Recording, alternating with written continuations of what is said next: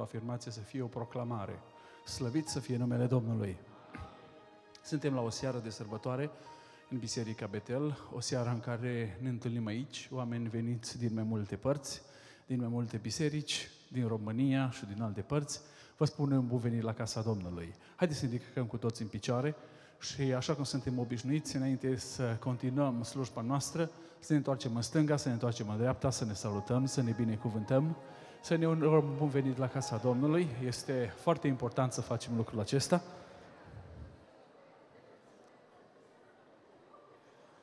Dacă am făcut deja lucrul ăsta, să primim pe cei care astăzi vor să vină înaintea Domnului și să-și unească viețile prin uh, slujba care se face și prin rugăciunea de binecuvântare care se va rosti.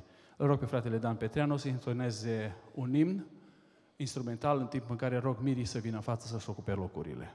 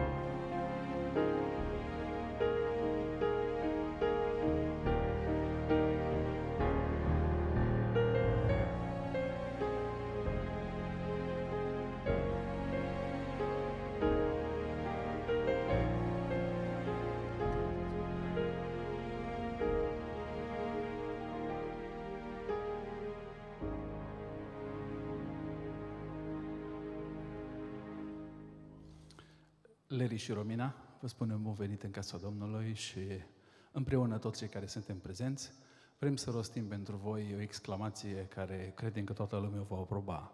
Dumnezeu să vă binecuvinteze! Pentru că spuneam la programele care au trecut că vrem atunci când avem slujbă duminica în biserică să avem un program în limitele normalității. Vrem și în seara asta să stăm în limitele normalității.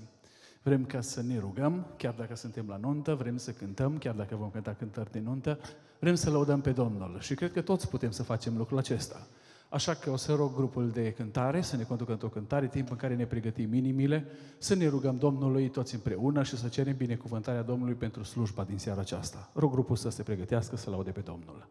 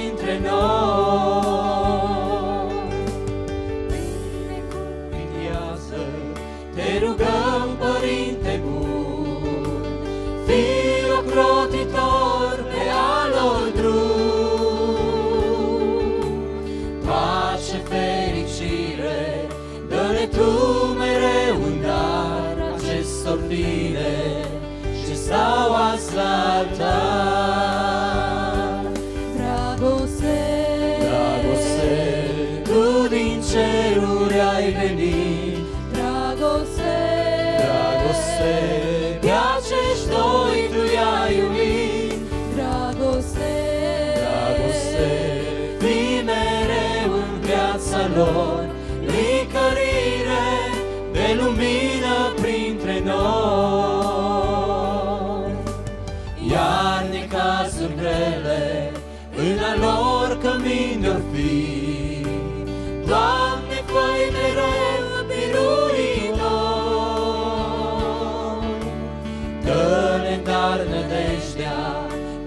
singur salvator, ești iubirea a lor mântuitor.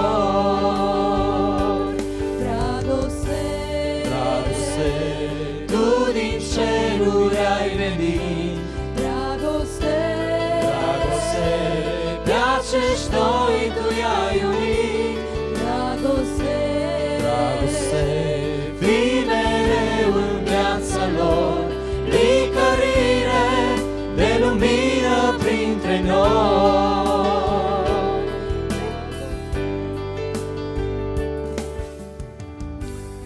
Cuvântul Domnului în Psalm 118, versetul 24, spune așa. Aceasta este ziua pe care a făcut-o Domnul, să ne bucurăm și să ne veselim în ea. Doamne ajută! Doamne, dă izbândă! Haideți să ne rugăm cu toți, așa cum știm noi să o facem, ca Dumnezeu să binecuvinteze slujba noastră din după masa asta.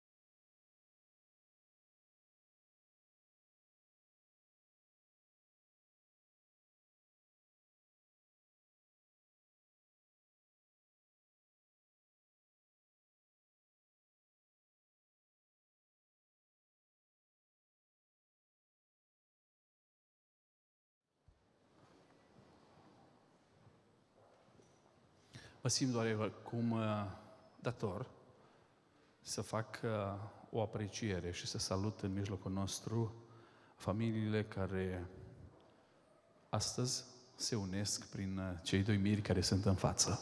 Salutăm familia Sofronie, fratele Valericu și cu sora Iuliana. Spune Dumnezeu să vă binecuvinteze. Ei vin din România, din Petroșani. Uh, Sunt împreună, cred că toți membrii familiei sunteți, veniți. Domnul să vă binecuvinteze, vă salutăm și vă spunem bun venit la Betel. Am lăsat în urmă familia Șerban, pe fratele Viorel și pe sora Adriana, doi uh, oameni, doi membri din biserica noastră, și ei sunt împreună cu toată familia și mai mult decât atât cu toată familia Bisericii Betel. Spune Dumnezeu să vă binecuvinteze. Ne bucurăm de sărbătoarea dumneavoastră, suntem alături de dumneavoastră. Ne bucurăm de faptul că ați reușit să ajungeți până aici în educația copiilor. Vă spune Dumnezeu să vă binecuvinteze, să vă întărească și să vă răsplătească. Dumnezeu să vă dea tot ceea ce aveți nevoie de acum înainte în viață, ca să reușiți în toate circumstanțele prin care veți ajunge. Domnul să vă binecuvinteze. Salutăm de asemenea în mijlocul nostru frați care ne vizitează cu ocazia acestui eveniment. Salutăm pe fratele Claudiu Tudeciu, el vine din uh, Petroșan, Biserica Filadelfia. Este astăzi prezent ca să slujească în cadrul Bisericii Betel pentru slujirea care o va face și pentru slujba în care se va implica, să spunem din toată inima Dumnezeu să-l binecuvinteze și să-l folosească în biserica noastră. De asemenea, salutăm pe fratele Cornel Cuibus, o veche cunoștință noastră. Îl salutăm din nou în mijlocul Bisericii Betel. Frate Cornel, Domnul să vă binecuvinteze. O să cântăm împreună cu fratele Cornel în seara asta, o să reauzim din nou acordeonul, lăudând pe Domnul împreună cu fratele Cornel, să ne unim inimile atunci când vom cânta, să cântăm toți împreună. De asemenea, salutăm pe fratele Lemuel, care este și el în mijlocul nostru. Uh, A venit și el invitat la nuntă să cântăm împreună cu ei, doi acordeoniști. Am fost surprins de sora Adriana și de fratele Viorel când au invitat la nuntă acordeoniști. Mi-au plăcut lucrul ăsta și spun Domnul să-i binecuvinteze. Să mai faceți lucruri de genul ăsta, să invitați oameni care știu să laude pe Domnul și în felul acesta. Noi lăudăm acum într-un alt fel, dar credem că merită în toate formele să lăudăm pe Dumnezeu. Pentru că spuneam că vrem ca la programele de nuntă să nu facem rabat de la slujirea bisericii și vrem și în cadrul unui astfel de program să ne rugăm pentru problemele noastre, vrem să avem un timp de rugăciune. Vrem să ne rugăm. Rugăciunile noastre trebuie să se înalțe spre Dumnezeu și în ziua de bucurie și în ziua de necaz. Atunci când trecem doar prin necaz și plângem, suntem ca niște copii care vrem mofturile noastre să fie îndeplinite.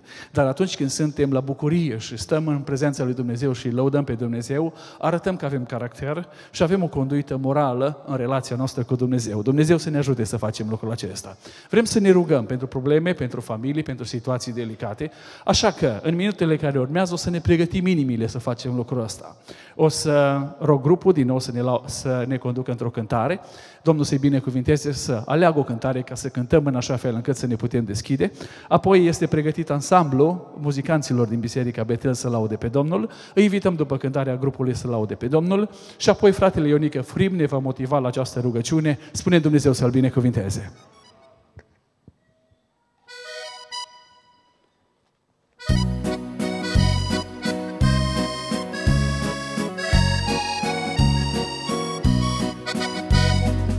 Vino Iisus la nuntă, vino de ea tu parte. Și-o bucurie sfântă, vino și mergi parte. Binecuvântă, Doamne, noi te rugăm acum,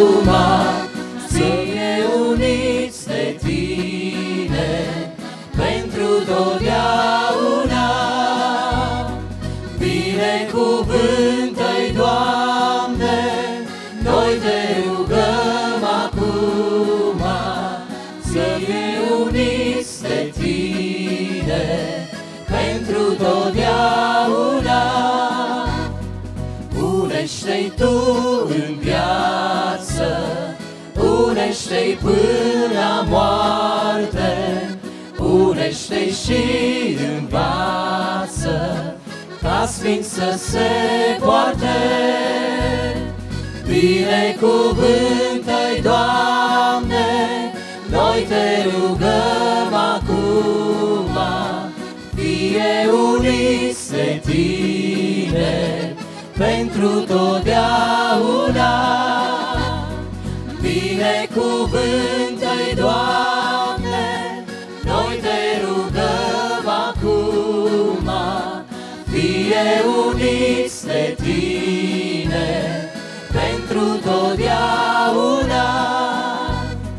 Mai este încă o nuntă, o nuntă minunată, căsătorie sfântă ce-n veci nu se gata.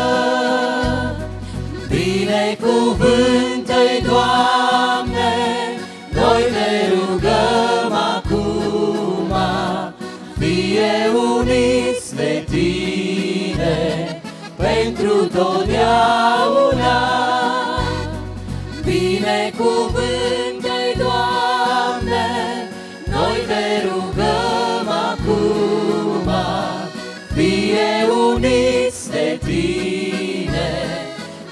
Pentru totdeauna.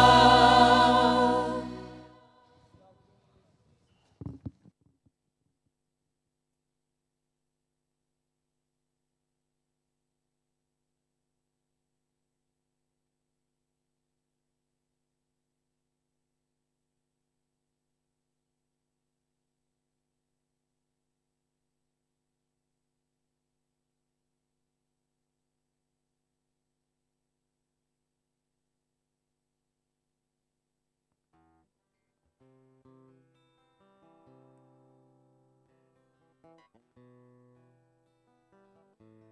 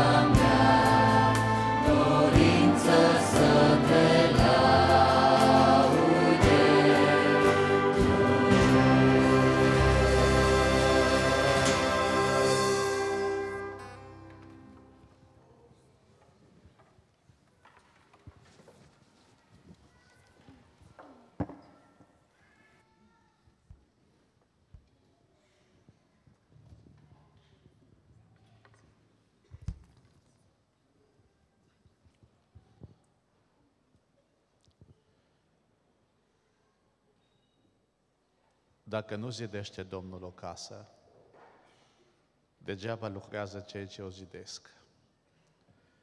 Dacă nu păzește Domnul o cetate, degeaba veghează cel ce o păzește. Degeaba vă scolați de dimineață și vă culcați târziu, ca să mâncați o pâine câștigată cu durere, căci prea iubiților lui, ele dă pâinea ca în somn. Iată fie sunt o moștenire de la Domnul. Rodul pântecelui este o răsplată dată de El. Ca săgețele în mâna unui războinic, așa sunt fiii făcuți la tinerețe. Ferice de omul care își umble tolba de săgeți cu ei, căci ei nu vor rămâne de rușine când vor vorbi cu vrășmașii lor la poartă. Psalmul 127, scris în cuvântul Domnului în pagina 630 pentru cei care doriți ca să consemnați lucrul acesta.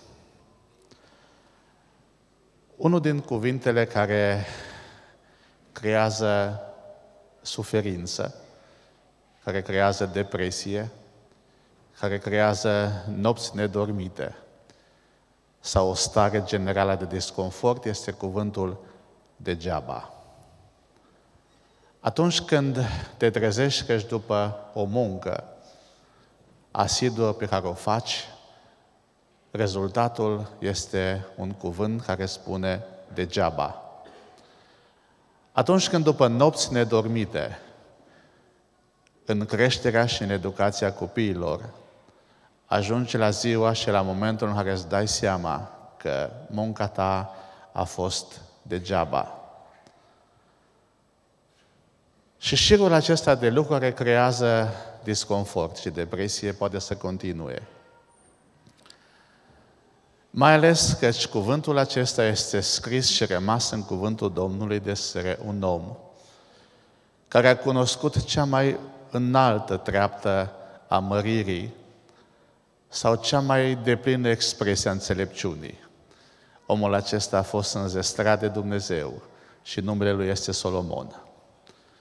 După toată strădania lui și după tot ceea ce a reușit să realizeze în viață, vine și spune ca și o concluzie că majoritatea lucrurilor sunt degeaba sau deșertăciune. El vine cu o soluție pe care o pune într-o cântare și noi o știm ca și Psalmul 127. Și vine cu o soluție pentru toți oamenii care vreau să asculte și să înțeleagă fie că este vorba despre o zi de sărbătoare, ca cea de astăzi, sau ca o zi obișnuită pe care noi o trăim în fiecare zi. Și El vine și spune că dacă Dumnezeu nu zidește o casă, degeaba lucrează cei ce o zidesc. Acesta este momentul în care noi venim înaintea Domnului, ca și o familie, ca și o biserică, împreună cu cei doi, cu Leri și cu Romina, în care, în prima zi în care ei își construiesc o casă, își clădesc un cămin, vin înaintea lui Dumnezeu, conștienți de faptul că dacă Dumnezeu nu zidește o casă, totul este degeaba. Domnul să zidească o casă temeinică și trainică pentru Leri și Romina.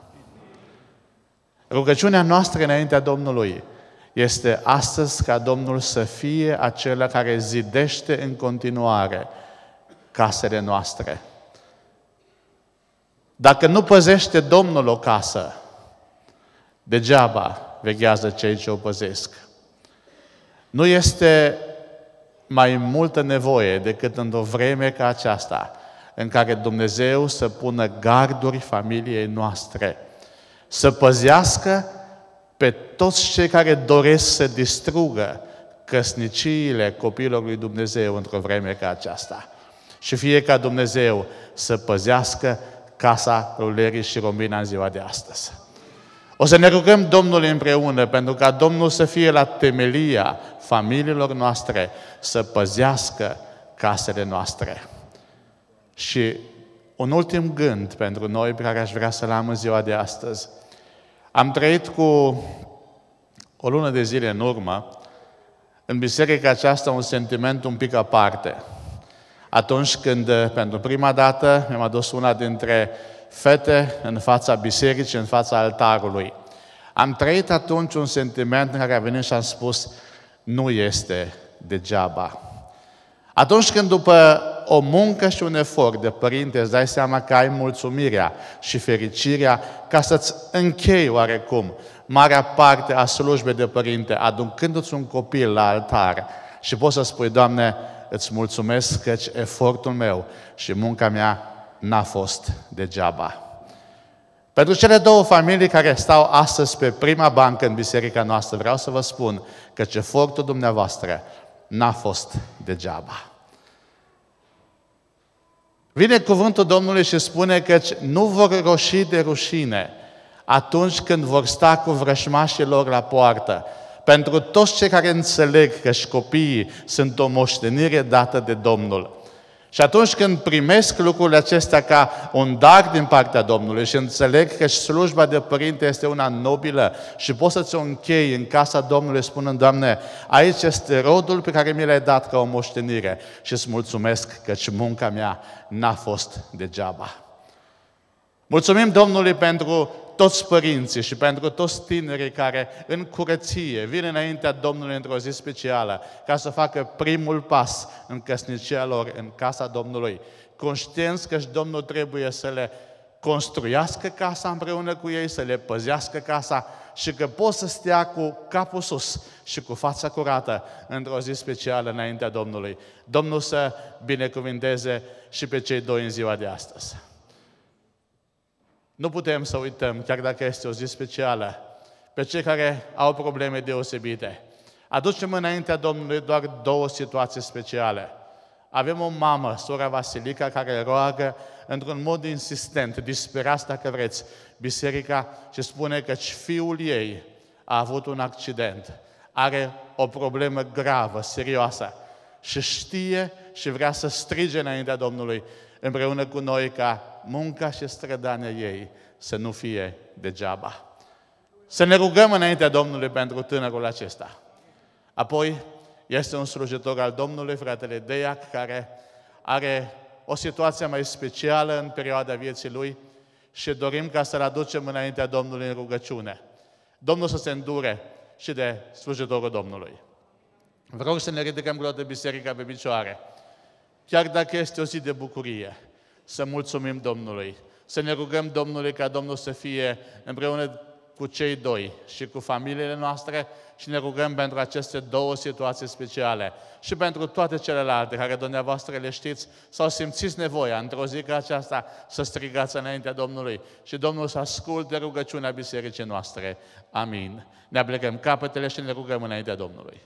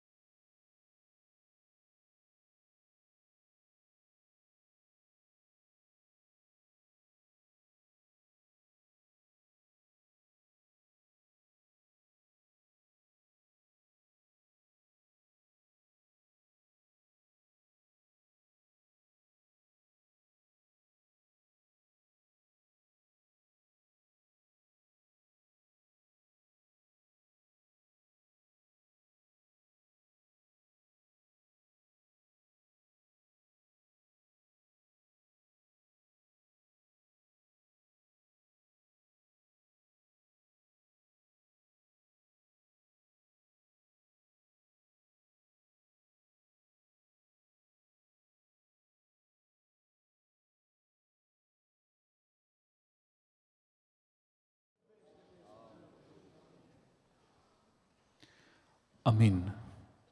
Haideți să reocupăm locurile pe scaune.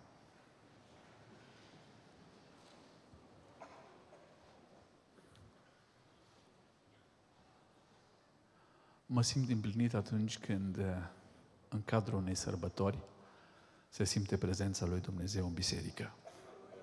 Și îmi doresc ca niciodată să nu lipsească Dumnezeu din mijlocul nostru. Dumnezeu să fie tot timpul și la bucurie și la zilele mai puțin bucuroase să fie prezent în biserică. Doamne ajută-ne! Vreau să lăudăm din nou pe Domnul cu o cântare până cântăreții își mai pregătesc puțin vocile timp în care noi vom face și colecta duminicală, așa cum suntem obișnuiți. Duminica după masă noi facem colectă când venim la biserică. În mijlocul nostru, împreună cu fratele Claudiu, este soția lui, sora Alina. Sora Alina este o cântăreață. O să rugăm după cântarea comună să vină în față să laude pe Domnul.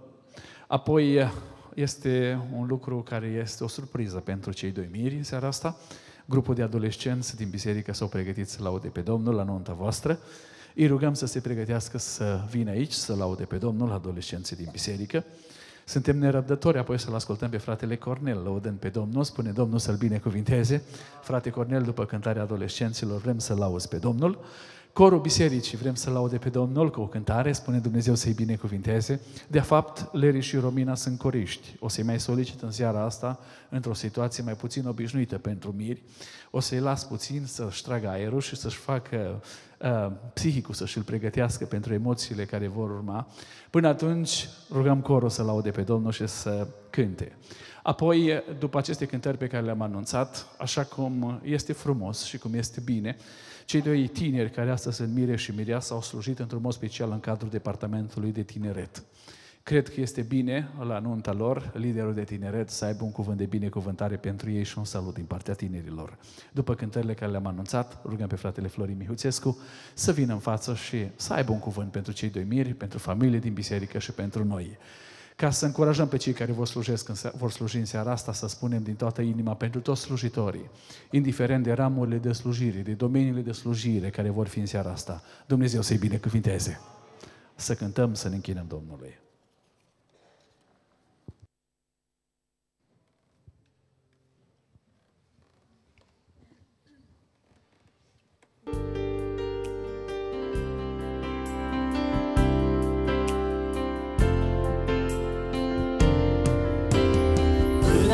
Înaintea ta veniți un salvator. Cu aceștia doi ce în tine se unesc. Vine în toate călăuză și ajutor. De la tine binecuvântări primesc. Har din cer și binecuvântare, te rugăm, Iisuse, să le dai, drumul să le fie numai bucurii. Cer senin și totdeauna soare și speranțe sfinte către rai, când e greu pe brațe, Doamne, să îi zi plină de har și bucurii, când cei doi se vor uni în jurământ, vor lăsa în urma lor prieteni dragi, și una vor fi de acum pe pământ. Din cer și binecuvântare, te rugăm, Iisuse, să le dai, drumul să le fie numai bucurii. Și senin și totdeauna soare și speranțe sfinte către rai, când e greu pe brațe, Doamne, să îi ții. Dorințele ca să le împlinești, Ruga noastră spre cer o îndreptăm. Și cu mâna sfântă să îi ocrotești. Voia ta să fie în toate te rugăm. Cer și binecuvântare, te rugăm, Iisuse, să le dai, drumul să le fie numai bucurii.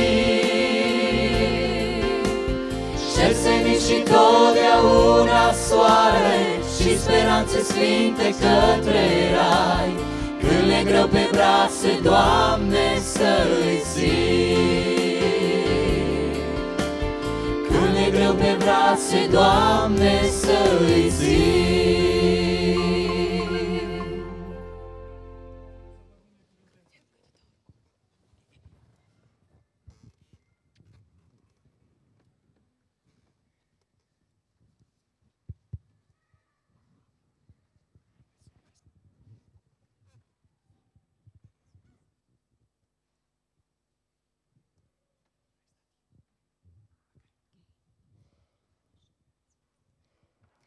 Leri și Romina sunt foarte onorată să fiu alături de voi în această zi frumoasă. Și chiar dacă vremea de aici din Irlanda, așa că am pus amprenta pe vocea mea, din toată inima vreau să laud pe Domnul. Și să fiți atenți mai mult la versuri decât la linia melodică. Și zic ca Domnul să vă binecuvinteze. Spre viitor pășiți azi împreună pe un tainic drum ce duce în veșnicie. Porniți pe un tărâm al fericirii, uniți în inimi, mână în mână. Iubirea ta e a sfântă cunună, cu care, Doamne, i-ai împodobit. Când paradisul va părea departe, veni vor în cer să vă dea aripi. Azi visul vostru se împlinește, primiți în dar la altar binecuvântarea sa. E un vis din zor ce nu cunoaște noapte și zboară spre cer să vă aducă în dar comori înstelate. Păstrează-i tu până la sfârșitul vieții. Uniți în inim de un singur dor, să ne întâlnim pe nori cu tine în slavă, să îți cântăm cu îngerii în cor. Azi visul vostru se împlinește, primiți în dar la altar binecuvântarea sa. E un vis din zor ce nu cunoaște noapte și zboară spre cer să vă aducă în dar comori înstelate. Azi visul vostru se împlinește, primiți în dar la altar binecuvântarea sa. E un vis din zor ce nu cunoaște noapte și zboară spre cer să vă aducă în dar comori înstelate. e visul vostru. Amin.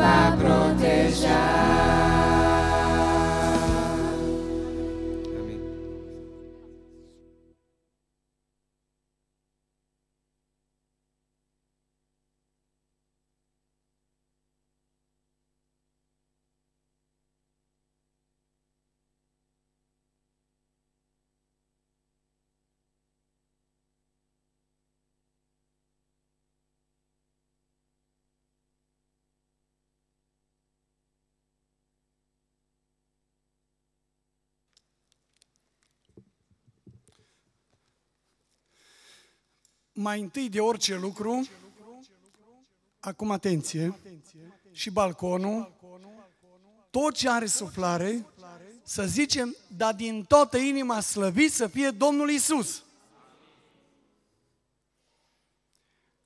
În afară de prieteni, toți au zis. Prietenii nu știu pentru că în lume, la spectacole se aplaudă. În biserică, atunci când se slăvește numele lui Isus, se spune amin din toată inima. Biserică Betel a fost toată inima? Așa sună la voi toată inima în catedrala asta?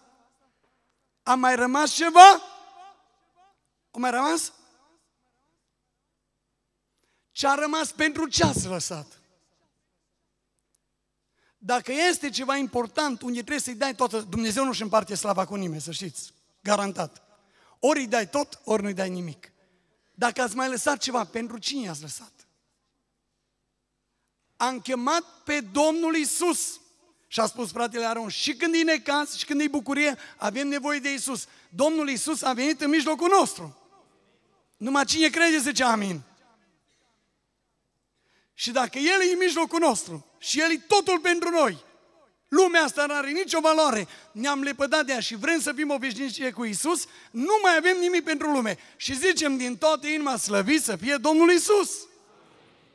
S-a mai îndulcit un pic, dar încă nu-i bine. Să zicem din toată inima, Domnul să binecuvinteze mirele și mireasa. Și pianul, zice, ceva modă nouă. Ați auzit mirilor? Toată adunarea vrea să fiți binecuvântați. Știți că e mare lucru ăsta? Eu nu glumesc, nu, nu știu ce zâmbiți. E vorba despre voi, voi faceți rău și tot voi râdeți. Știți că e mare lucru să fii binecuvântat de Dumnezeu? Și un cuvânt. Și am ales cea mai scurtă cântare. Am văzut cât e de aglomerat programul. Îmi dau seama cât e, oricum nu se poate încheia la fix, că nici nu a început la fix, de fapt. Știi?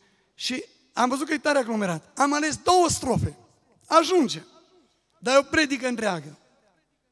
A dispărut un cuvânt din națiunile noastre și din lume. Știți care e? Fericirea. Bogații sunt nenorociți și săracii sunt nenorociți. Fericiți nu sunt nici bogați, nici săraci. Un singur loc, într-un singur loc mai este fericire. Știe cineva unde e? La Isus. Un singur fericire. Vă dorim să fiți fericiți. Toți frații și surori vin la adunare cu Bibliile și prietenii se uită pe scrim sus, Psalmul 128. Deschideți la Psalmul 128. Ca să știți dacă sunteți sau nu fericiți. Că după aminul care îl spuneți, nu sunt mulți fericiți. Ca să știți. Ferice de cine? De oricine se teme de Domnul. A venit cineva la adunare în seara asta, când o intra pe ușă, să se teamă? O venit cu frică careva, nu cu frică că își pierde jobul și casa, cu frică de Domnul. A venit cineva la adunare în seara asta cu frică de Domnul? Ferice de oricine se teme de Domnul și umblă pe căile Lui. Singura șansă să fim fericiți. Mire și mireasă. Nu știu ce alegeți. Nu știu ce drum, nu știu ce cale, nu știu. Știu un lucru. Un singur loc este fericire. Cine se teme de Domnul și umble pe căile Lui. Atunci te bucuri de șomaj și de social. Așa scrie. Cum scrie? Aveți Biblie?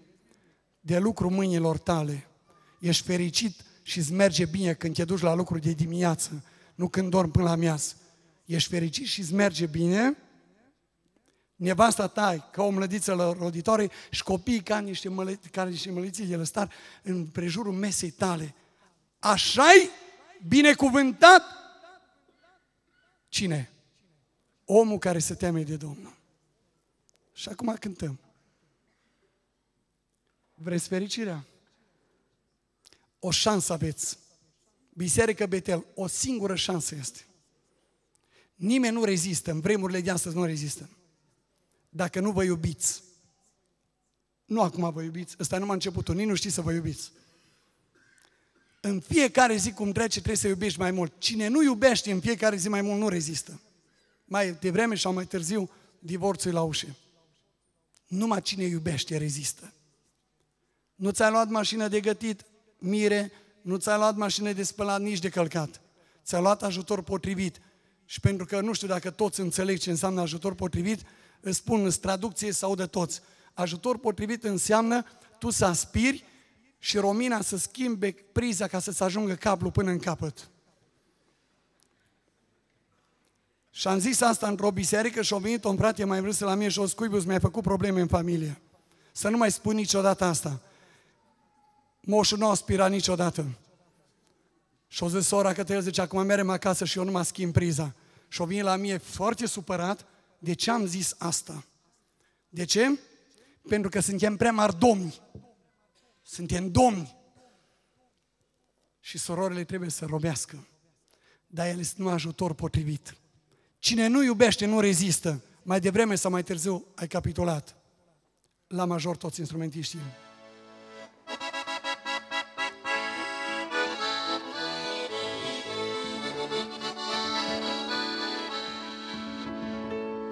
Să vă iubiți cu o dragoste prea sfântă și să ascultați tot ce s-a spus. Să nu uitați căci azi primiți poruncă să vă iubiți cum v-a iubit Isus. Să vă iubiți cu o dragoste fierbinte, să vadă în lumea în voi pe Salvator. Să poată spune toți din jurul vostru, aceasta e calea bucuriilor să vă iubiți cât veți trăi în lume, nici o părâmă de ură între voi. Dragostea-i soare ce în veci nu va apune, fie Hristos iubirea din voi. Să vă iubiți cât veți trăi în lume, nici o părâmă de ură între voi. Dragostea-i soare ce în veci nu va apune, fie Hristos iubirea din voi. Să vă iubiți, vă spune astăzi Domnul, căci iubire voi de veți trăi. Orice obstacol ce va sta înainte cu Dumnezeu, cu El veți birui. Să vă iubiți și să vegheați într-una, prin viața voastră fie proslăvit. Căci la sfârșit El ne va da cu nuna ce pentru noi cu drag a pregătit să vă iubiți cât veți trăi în lume, nici o părâmă de ură între voi. Dragostea-i soare ce în veci nu va apune, fie Hristos iubirea din voi. Să vă iubiți cât veți trăi în lume, nici o părâmă de ură între voi. Dragostea-i soare ce în veci nu va apune, fie Hristos iubirea din voi. Amin, amin.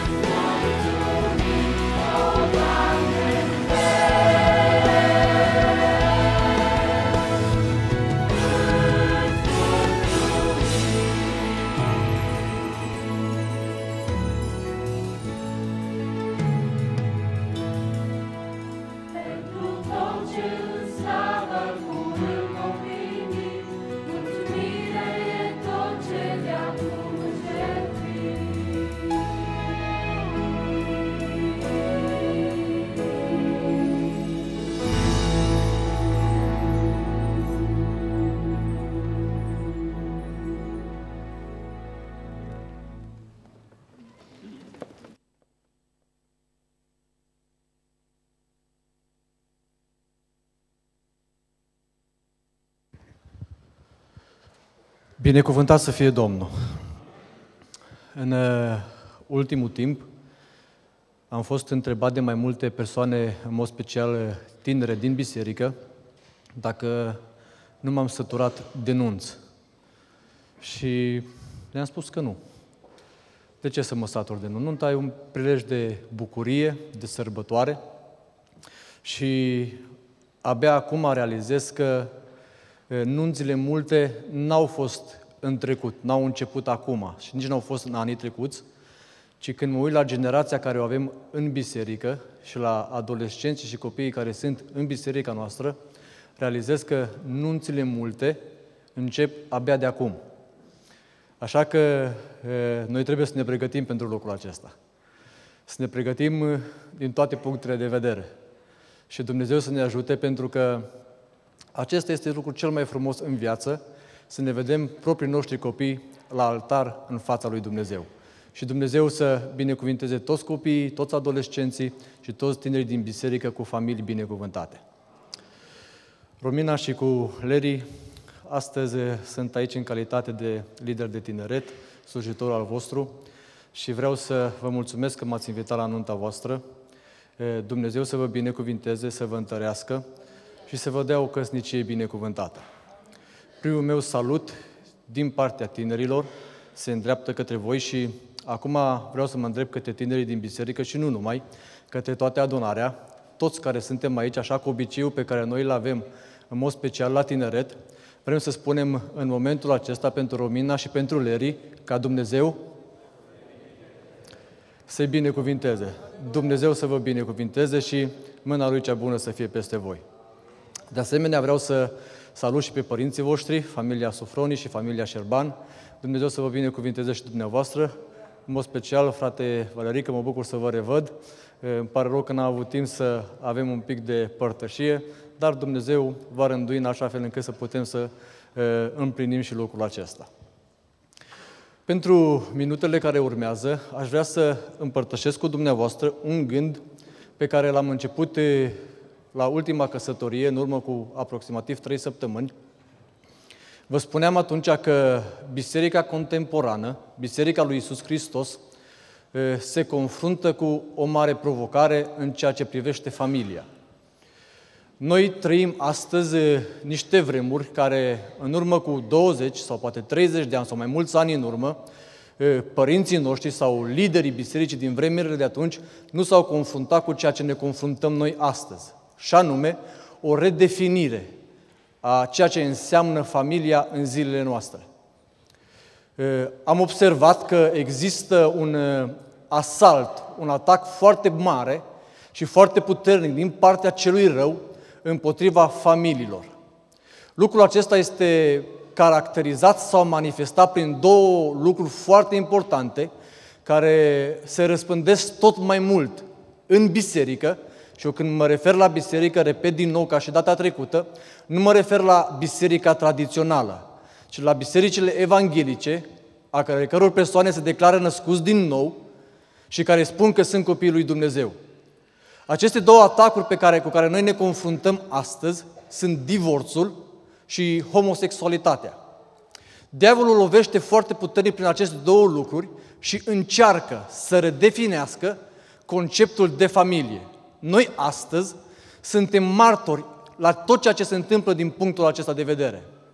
De aceea, spuneam data trecută și repet încă o dată astăzi că noi ca și biserică și noi în calitate de slujitori avem o misiune să apărăm Evanghelia Domnului Isus Hristos, să apărăm familia așa cum a fost instituită, înființată de Domnul Isus Hristos și, o să, și să o proclamăm în lume exact cum a fost ea pusă în Scriptură de Domnul Isus. De aceea am început data trecută un gând prin care am încercat sau am vrut să arăt lucrurile pe care noi trebuie să le facem ca și familiști ca să ținem familia împreună. Sunt două lucruri în ceea ce privește divorțul. Divorțul este de două feluri. Este divorțul care se pronunță în mod oficial – când bărbatul și femeia pur și simplu nu se mai înțeleg, nu mai există nicio soluție de împăcare sau toate soluțiile s-au epuizat și atunci, în mod oficial, fac lucrul acesta public și se separă. Apoi există un alt fel de divorț neoficial, când bărbatul și soția ă, sunt încă împreună, dar ei trăiesc ca doi oameni separați. Au lucrurile separate, au banii separați, au cameră separată, au viitorul diferit și au drumuri diferite. Dacă în, prima, în, prima, în primul fel de divorț, cel oficial, lucrurile sunt clare și sunt știute pentru toți, în cea mai mare parte, în de-a doilea caz, lucrurile sunt mult mai complicate. De aceea eu cred ca și biserică, Noi trebuie să avem atât o poziție împotriva acestor lucruri, dar nu numai o poziție, ci trebuie să venim și cu soluții. Pentru că nu este suficient să fim împotriva cuiva fără să-i dai nicio explicație, ci trebuie să fim împotriva păcatului, dar în același timp trebuie să aduci și o soluție prin care să rezolvi aceste probleme cu care biserica se confruntă. Și data trecută am vorbit de una dintre, unul dintre lucrurile cu care biserica sau familiile trebuie să se îndelenicească. Și spuneam atunci și am vorbit de implicarea bărbatului și a soției prin porunca pe care au primit-o de la Dumnezeu atunci când a fost înființată familia. Și anume când Domnul Dumnezeu în grădina Edenului i-a spus lui Adam și Evei, creșteți, înmulțiți-vă, umpleți pământul și supuneți-l. Această poruncă, această responsabilitate era pentru amândoi, pentru că era la plural. Creșteți, înmulțiți-vă, umpleți pământul și supuneți-l. Implicarea trebuie să fie din amândouă părți. Astăzi aș vrea să împărtășesc cu voi un al doilea gând despre ce trebuie să facem noi ca și familiști. În afara faptului că trebuie să ne implicăm, atât bărbații cât și femeile trebuie să se implice în viața de familie, pentru că este vorba de două persoane, nu numai una, și această unitate se realizează nu când numai una se implică, ci când se implică amândouă. Astăzi aș vrea să vă vorbesc despre un al doilea lucru pe care Dumnezeu mi l-a pus pe inimă în legătură cu familia. Familia este un lucru frumos. Familia este un lucru binecuvântat. Familia este un lucru pe care Dumnezeu l-a creat și atâta timp cât noi îl împlinim, Dumnezeu ne binecuvintează. Aș vrea să vă citesc un verset. 1 Corinteni, capitolul 7, versetul 3. Bărbatul să-și împlinească față de nevastă datoria de soț și tot așa să facă și nevasta față de bărbat. Dumnezeu a creat atât bărbatul cât și femeia și familia și fiecare unul față de altul are o responsabilitate. Și al doilea lucru pe care aș vrea să vi-l spun este creativitatea. Unul din lucrurile care duce la ruină familia este pentru că oamenii încep să se obișnuiască unul cu altul și pentru că sunt foarte obișnuiți, sunt și foarte delăsători. Rutina în familie distruge familia și o duce înspre divorț. Aș vrea să vă spun că noi nu putem elimina rutina definitiv. În cea mai mare parte, viața e făcută din lucruri normale pe care noi le facem în fiecare zi. Toate aspectele din viață sunt făcute din lucruri normale, cotidiene, zilnice, pe care noi ca și oameni, indiferent că suntem căsătoriți sau necăsătoriți, le facem. Dar, atunci când noi ne referim la familie, Dumnezeu ne-a făcut pe noi oameni cu imaginație, cu creativitate. Atunci când noi nu apelăm la acest lucru cu care Dumnezeu ne-a înzestrat, intervine rutina și din toate punctele de vedere această rutină atacă, macină în fiecare zi familia și o duce înspre prăpăd, înspre divorț sau înspre separare. Creativitatea este unul din lucrurile pe care noi trebuie să le facem atât ca și bărbați, cât și ca și femei. Ce înseamnă această creativitate? Creati- creativitatea în cadrul familiei înseamnă să faci lucrurile diferit. Adică să încerci să nu faci în fiecare zi ca și soț sau ca și soție aceleași lucruri. Încearcă să faci lucrurile și altfel. N-aș vrea să vă spun astăzi, probabil că poate că va schimba un pic părerea despre mine, câte lucruri îmi trec mie prin cap în ceea ce privește relația mea de familie, de familie în legătură cu soția mea. Dar, de foarte multe ori mă gândesc, ca să nu fac mereu și mereu aceleași lucruri. De cele mai multe ori, rutina sau persoanele care sunt obișnuite cu rutina le enervează la maxim sau sunt supărate foarte tare acele femei sau acele, acei bărbați când își vede bărbatul, de exemplu, dau, fac o paranteză. Vine bărbatul de la muncă și soția deja știe exact tot ceea ce face. Mâncă, se pune pe fotoliu, se uită la televizor, se culcă. Asta face azi, asta face mâine, asta face poimine și asta face poim, ă, în fiecare zi. Ei, lucrurile acestea sunt lucruri care pur și simplu, dacă le faci în mod repetat, constant, aduce uh, separare, aduce răceală, aduce lucruri care îi de, desparte pe unul de celălalt. A fi creativ înseamnă să faci lucrurile și altfel. Să le faci un pic diferit. Creativ înseamnă să-ți iei soția sau să-ți iei soțul din când în când prin surprindere. Să-i faci câte o surpriză. E adevărat că unii își fac, îi fac surpriză nevestei că nu vin câte două săptămâni pe acasă. Eu nu mă refer la așa ceva. Asta nu e surpriză, asta e surpriză neplăcută.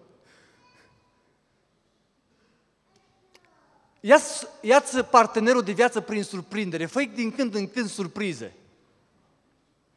Fii creativ. Și vei vedea că lucrul acesta te va apropia mai multe persoane de lângă tine și persoanele de lângă tine se va simți mult mai apropiată, mult mai atras de tine prin faptul că întotdeauna este ceva prin care tu ești, o, îl farmești pe cel de lângă tine. Vreau să vă rog să vă spun ceva. Citiți un lucru în Scriptură în legătură cu Domnul Isus Hristos. Și veți vedea că Isus Hristos a fost o persoană foarte creativă. Tocmai din pricina acestui fapt, oamenii alergau după El. El nu făcea mereu aceleași lucruri. De exemplu, un lucru care îmi vine acum în minte din Scriptură, Biblia relatează mai multe vindecări de oameni care au fost orbi. Poate să-mi spună cineva dacă Hristos a vindecat două persoane care au fost orbi în același fel? I-a vindecat la fel? Nu! Pentru că el a folosit metode diferite. La unii le-a scuipat pe tine și le-a uns ochii. La alții pur și simplu le-a poruncit. La alții a, a aplicat o altă metodă pentru că el a fost o persoană creativă prin care întotdeauna îi lua pe oameni prin surprindere și îi aducea aproape de el. Creativitatea în cadrul familiei are menirea să ne strângă unul pe altul și să ne surprindă în așa fel încât să ne simțim atrași unul de altul.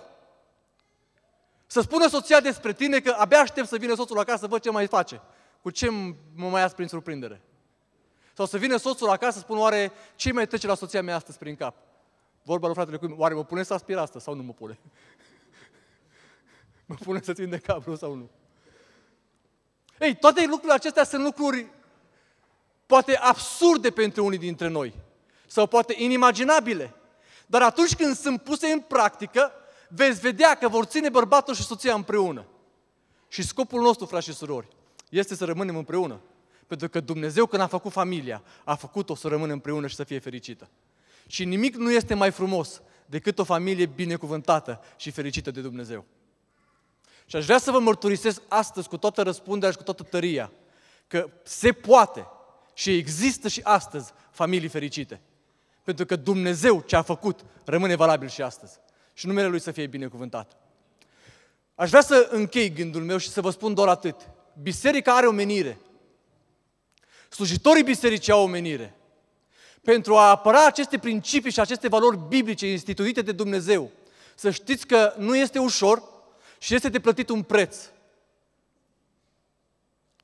Dar indiferent care este de plătit prețul, biserica trebuie să rămână pe ziduri și biserica trebuie să rămână pe poziție.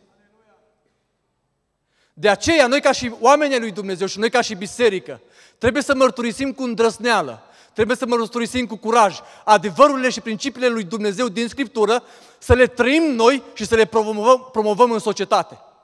Și Dumnezeu ne va binecuvânta. Mă întorc către voi doi acum.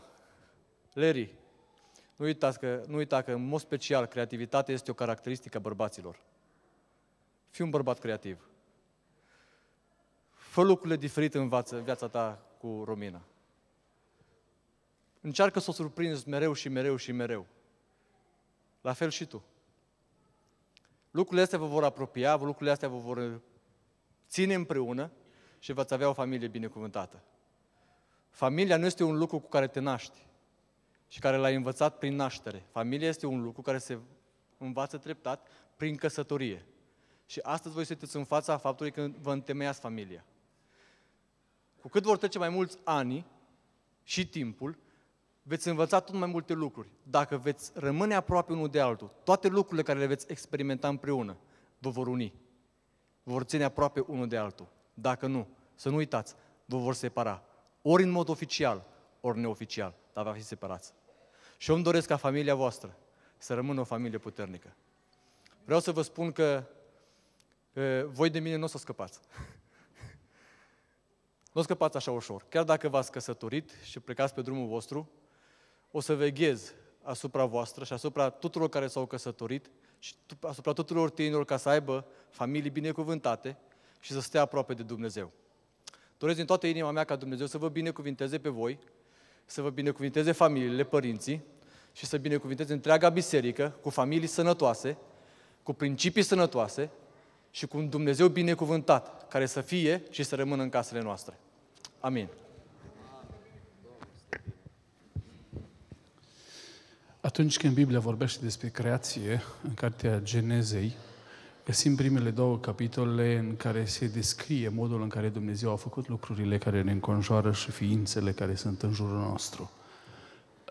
Autorul cărții concluzionează cu un verset care este foarte sugestiv și spune că omul și nevasta lui, asta este ultimul verset din uh, capitolul 2 din Geneza, erau amândoi, adică sugerează că erau împreună, că nu le era rușine, că ei relaționau, că erau o familie. Imediat capitolul 3 debutează cu acțiunea diabolică și vorbește despre șarpe. Descrierea lui spune, șarpele era măișiret, adică el foarte șmecher știa să intre, știa să intre foarte subtil. Că de fapt societatea noastră contemporană și familiile noastre sunt distruse cu subtilitate, pentru că diavolul nu vine niciodată pe față să spună vreau să distrug ceea ce noi numim valoare familie. Noi nu, nu vrea diavolul asta, el vine cu subtilitate la familie. El vine cu lucruri pe care le strecoară cu subteran. Și știți ce a făcut el prima dată? A semănat în mintea omului, în mintea femeii, curiozitatea. Și a spus, oare, oare, oare dacă faceți așa, nu vor rămânea principiile? Oare dacă faceți așa, nu veți progresa? Oare dacă faceți așa? Leri și Romina. Vreau să vă spun astăzi un lucru care vreau să-l țineți minte. În viața voastră de familie să nu mergeți niciodată pe supoziții. Să mergeți pe lucruri care sunt serioase, care sunt baze verificate. Să mergeți pe cuvântul lui Dumnezeu, pentru că El rămâne întotdeauna în picioare. Dumnezeu să vă binecuvinteze. Vreau să continuăm timpul nostru de închinare pe care îl avem și, așa cum am anunțat, sunt musafiri care sunt aici în biserică. Fratele Lemuel, împreună cu sora Simida, îi chemăm să laude pe Domnul cu o cântare. Avem pe fratele Vali, ne-a obișnuit de câte ori a venit la noi să recite o poezie. Este pregătit astăzi la nunta fiului lui să recite o poezie. Frate Vali, după cântarea fratelui Lemuel, te invităm în față să reciți poezia. Ascultăm din nou pe fratele Cornel, laudând pe Domnul, spune Domnul să-l binecuvinteze. După fratele Cornel, rugăm din nou ansamblu, bisericii să laude pe Domnul, cor, orchestra și fanfara. Vreau să vă spun un lucru și îmi doresc să se întâmple. Asta era, de fapt, unul dintre surprizele care îmi doresc să se întâmple.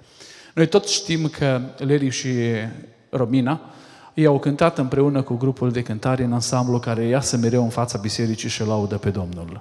Chiar dacă nu au fost la repetiție, sunt convins că nu au fost, îi rog în timp ce cântă ansamblu, pe Leri și pe Romina, să vină aici în față și cel puțin pentru o poză, în ziua anunților, să fie împreună cu ansamblu. Și noi toți să spunem, Domnul să-i binecuvinteze. Cred că este un lucru frumos, o surpriză plăcută pentru ei să-și amintească că la ziua anunților toți cei care au slujit împreună cu ei au fost prezenți și au slujit și că ei vor să slujească împreună în formula asta. Dumnezeu să ne binecuvinteze pe toți. După aceste cântări pe care le-am anunțat și poezia pe care am anunțat-o, rugăm pe fratele Claudiu să intre în slujba Domnului, să vorbească din cuvântul Domnului. Să ne rugăm pentru el și să spunem ca Dumnezeu să-i dăruiască prospețime și cuvântul necesar pentru noi în această zi, astfel încât atunci când slujba se încheie și când mesajul fratelui se încheie, să putem să spunem din toată inima, slăvit să fie Domnul pentru hrana care ne-a rânduit-o și astăzi. Spune Dumnezeu să-L binecuvinteze. Amin.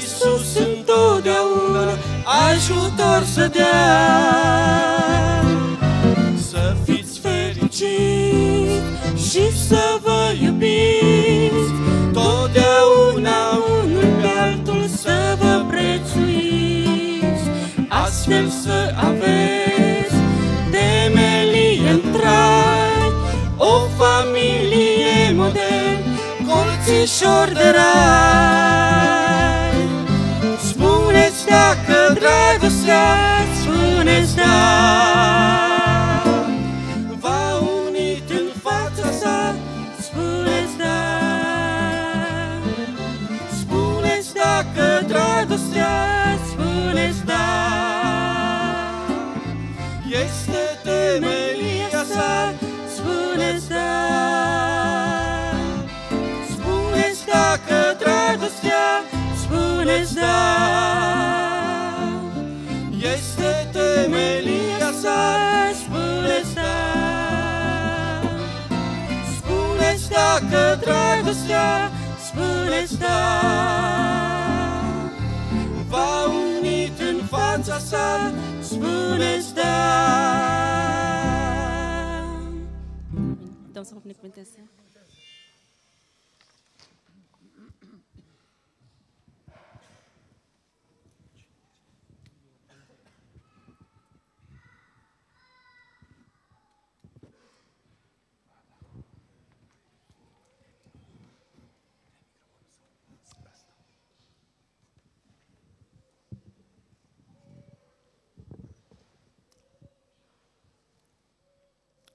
azi de ziua anunții voastre, din toată inima zic ca Domnul să vă binecuvinteze Leri și Romina. De asemenea zic ca Domnul să binecuvinteze întreaga biserică Betel din Dublin, binecuvântările Domnului să fie peste noi toți. Amin. Este zi de sărbătoare azi în casa Domnului. Două suflete curate se unesc în fața Lui două inimi ce vor bate în același ritm frumos, într-un gând de unitate pentru slava lui Hristos. Le dorim ca în credință ei necontenit să fie de nedespărțit în toate, pe pământ și în veșnicie. Viața lor să fie una în credință tot mereu și în bucurii de pline, și când drumul este greu. De o viață împlinită le dorim să aibă parte, cum au fost Avram și Sara, amintiți în Sfânta Carte, să le dăruiască Domnul zâmbetul de, de bucurie, strânși uniți pe drumul vieții, duc, ducând flori de fericire. În clipele de încercare să nu descurajeze, în Domnul să se încreadă, pe cale să vegheze. Tu fii cu ei, o Doamne, în, fie, în fiecare zi, făi Tu să strălucească, că sunt ai Tăi copii. În dragoste, o Doamne, frumos să trăiască, să fie credincioși, în vești să se iubească. Unește Tu, o Doamne, pune sigilul Tău în casa lor să fii mereu pe primul loc. Dorim, Isus, să vii la cununie, din partea Ta iubirea să le dai, viața lor să fie armonie, căminul lor să fie un colț de rai.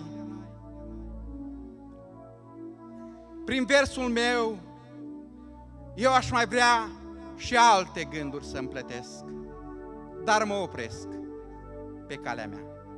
Drum bun cu Domnul vă doresc. Amin.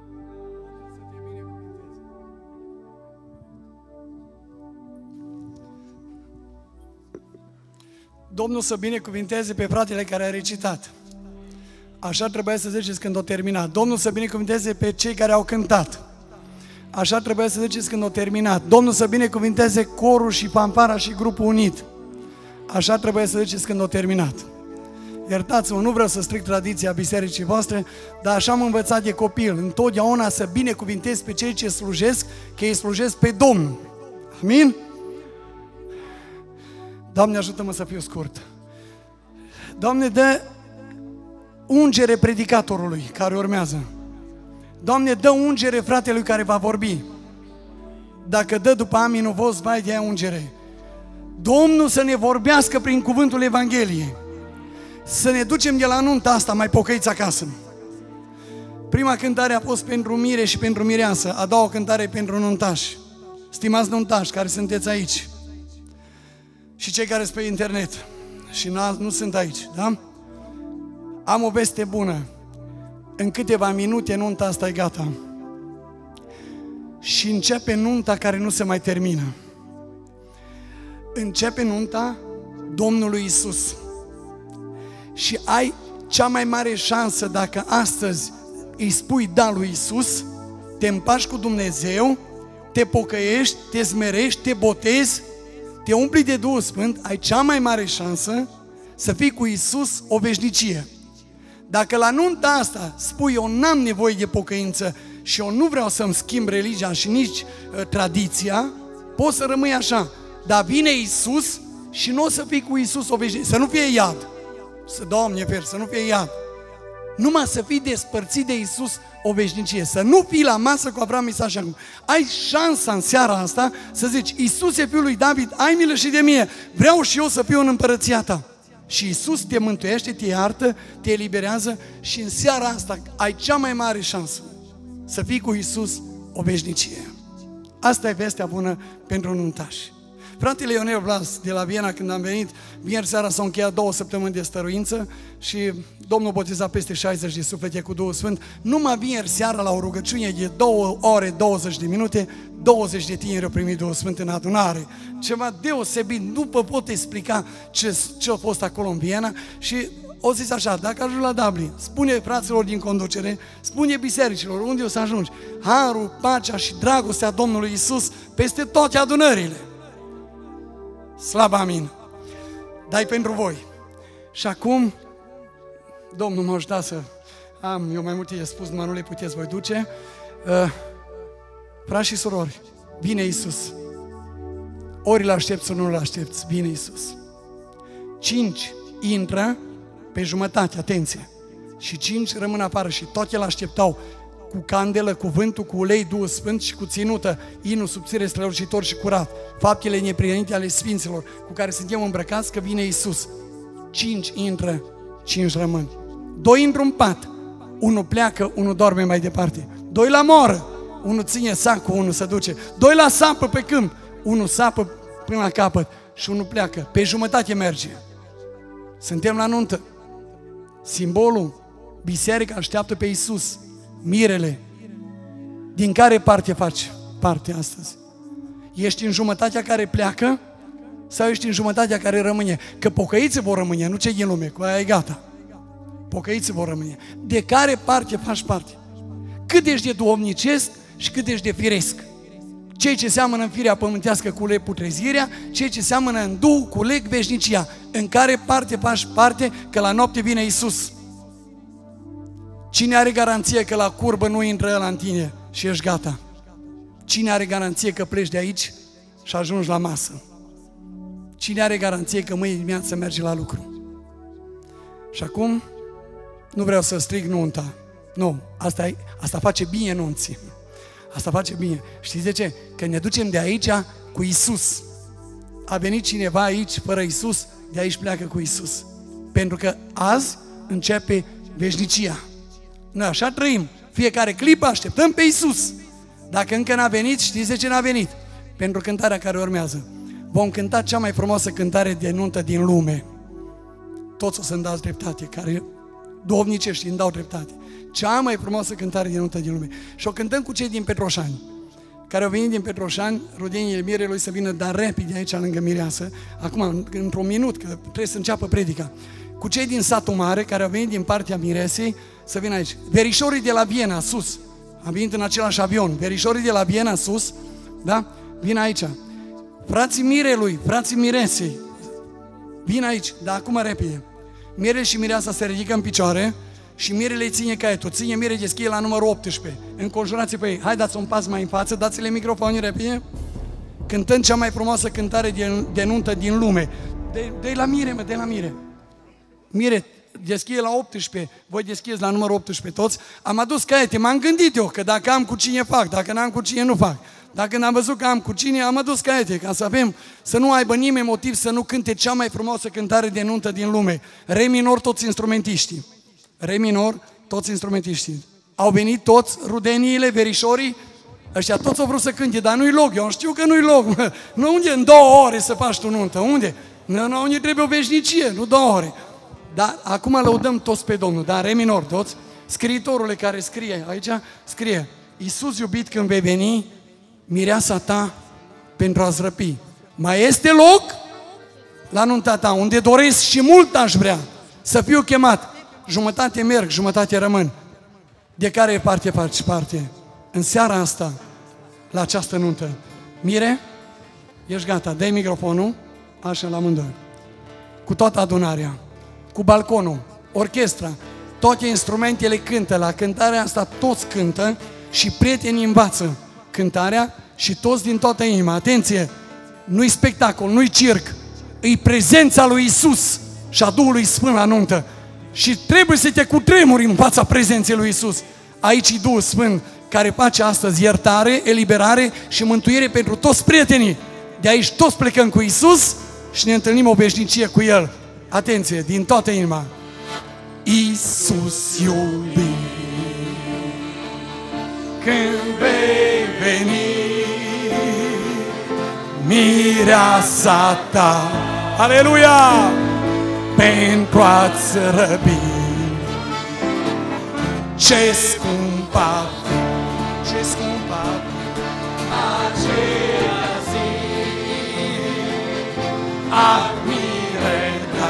aleluia, de ce? Cu dor după Iisus toată adunarea, mai este loc la nunta ta. Mărire lui Iisus, te doresc și mult aș vrea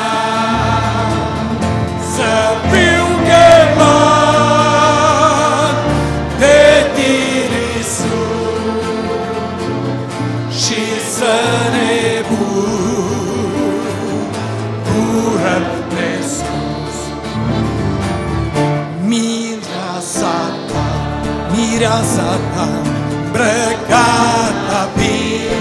Aleluia! În haine, aleluia! Pe o pegrădie. Ce bucurii, ce bucurii, e marea bine. Aleluia! Admire ta, mărire lui Iisus, de ce din toată inima și balconul mai este loc, mai este loc la nunta ta. Aleluia! Unde doresc și mult aș vrea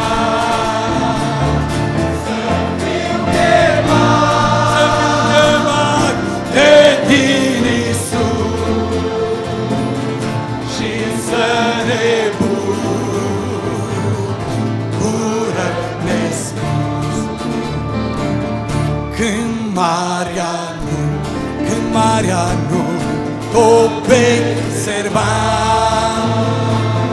acolo în păr, aleluia, răția ta.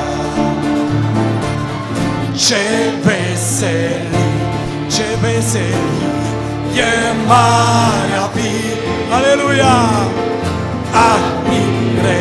Cântăm corul, toată adunarea ridicată în picioare, toată adunarea în picioare, cântăm corul, din toată inima. Mai este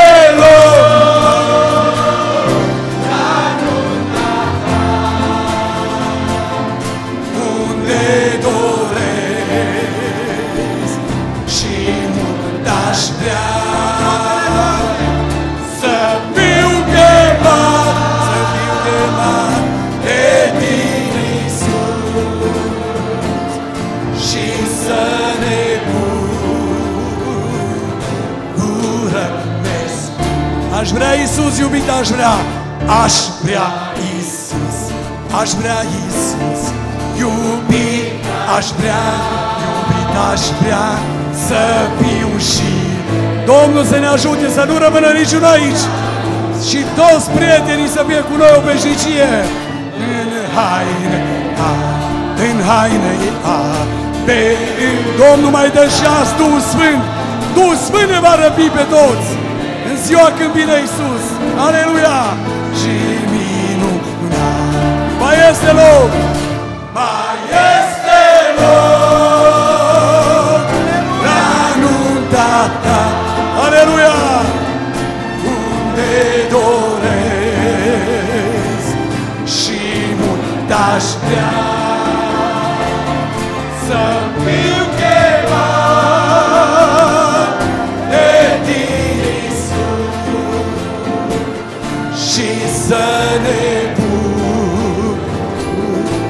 Mai cântăm o dată corul, fără instrumente, numai vocal. Mai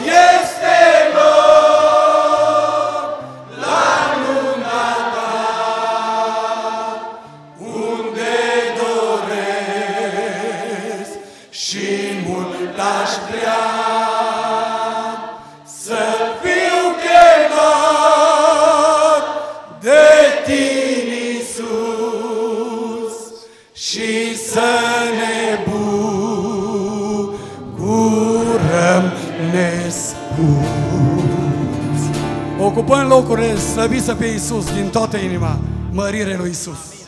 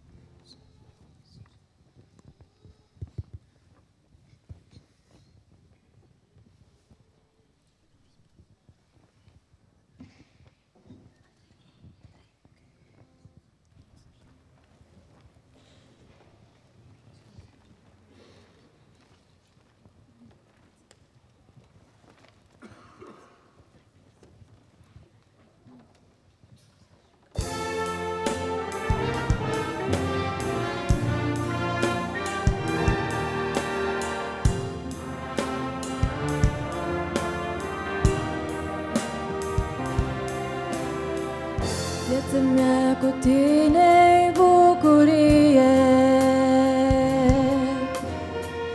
Doamne, Tu ești tot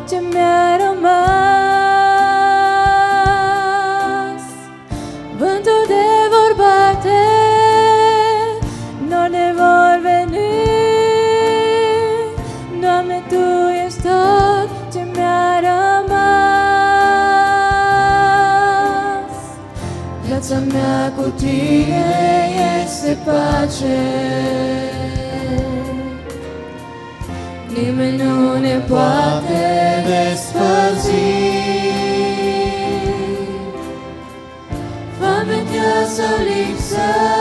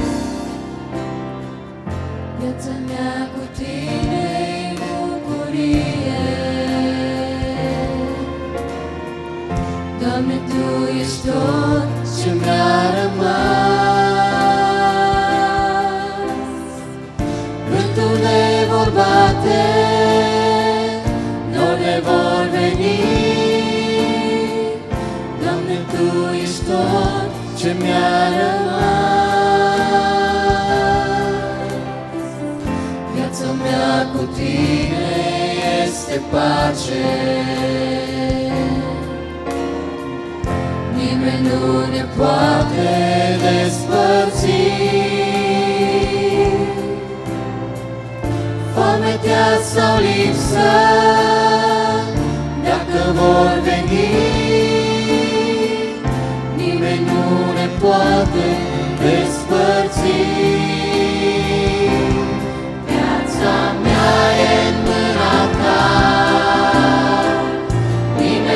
Nimeni nu va lua Orice vremuri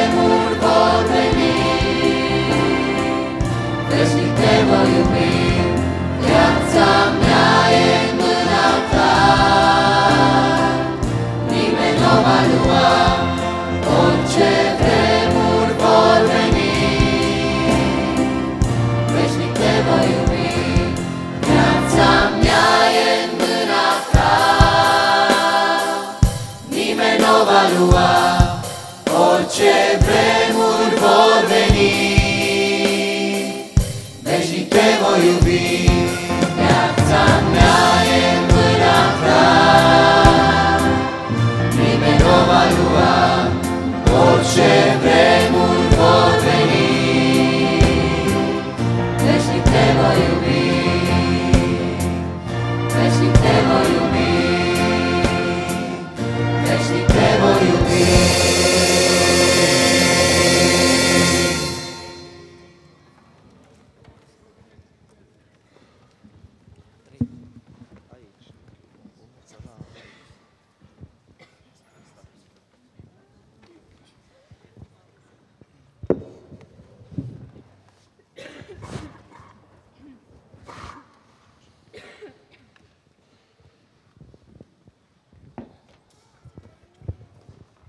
Iubiții mei, cu tot respectul, vă invit să ne ridicăm în picioare doar pentru câteva secunde, să citim un cuvânt din Cartea Geneza de la capitolul 2, începem citirea cu versetul 18 și concludem în versetul 24. Domnul Dumnezeu a zis, nu este bine ca omul să fie singur, am să-i fac un ajutor potrivit pentru el. Domnul Dumnezeu a făcut din pământ toate fiarele câmpului și toate păsările cerului și le-a adus la om, ca să vadă cum are să le numească și orice nume pe care îl dădea omul fiecărei viețuitoare, acela era numele. Și omul a pus nume tuturor vitelor, păsărilor cerului și tuturor fiarelor câmpului. Dar pentru om nu s-a găsit niciun ajutor care să-i se potrivească. Atunci Domnul Dumnezeu a trimis un somn adânc peste om și omul a adormit. Domnul Dumnezeu a luat una din coastele lui și a închis carnea la locul ei. Din coasta pe care o luase din om, Domnul Dumnezeu a făcut o femeie și a adus-o la om și omul a zis, iată, în sfârșit aceea care este, este os din oasele mele și carne din carnea mea. Ea se va numi femeie pentru că a fost luată din om. De aceea va lăsa omul pe tatăl său și pe mama sa și se va lipi de nevastă sa și se vor face un singur trup. Amin. Vă rog să vă reașezați.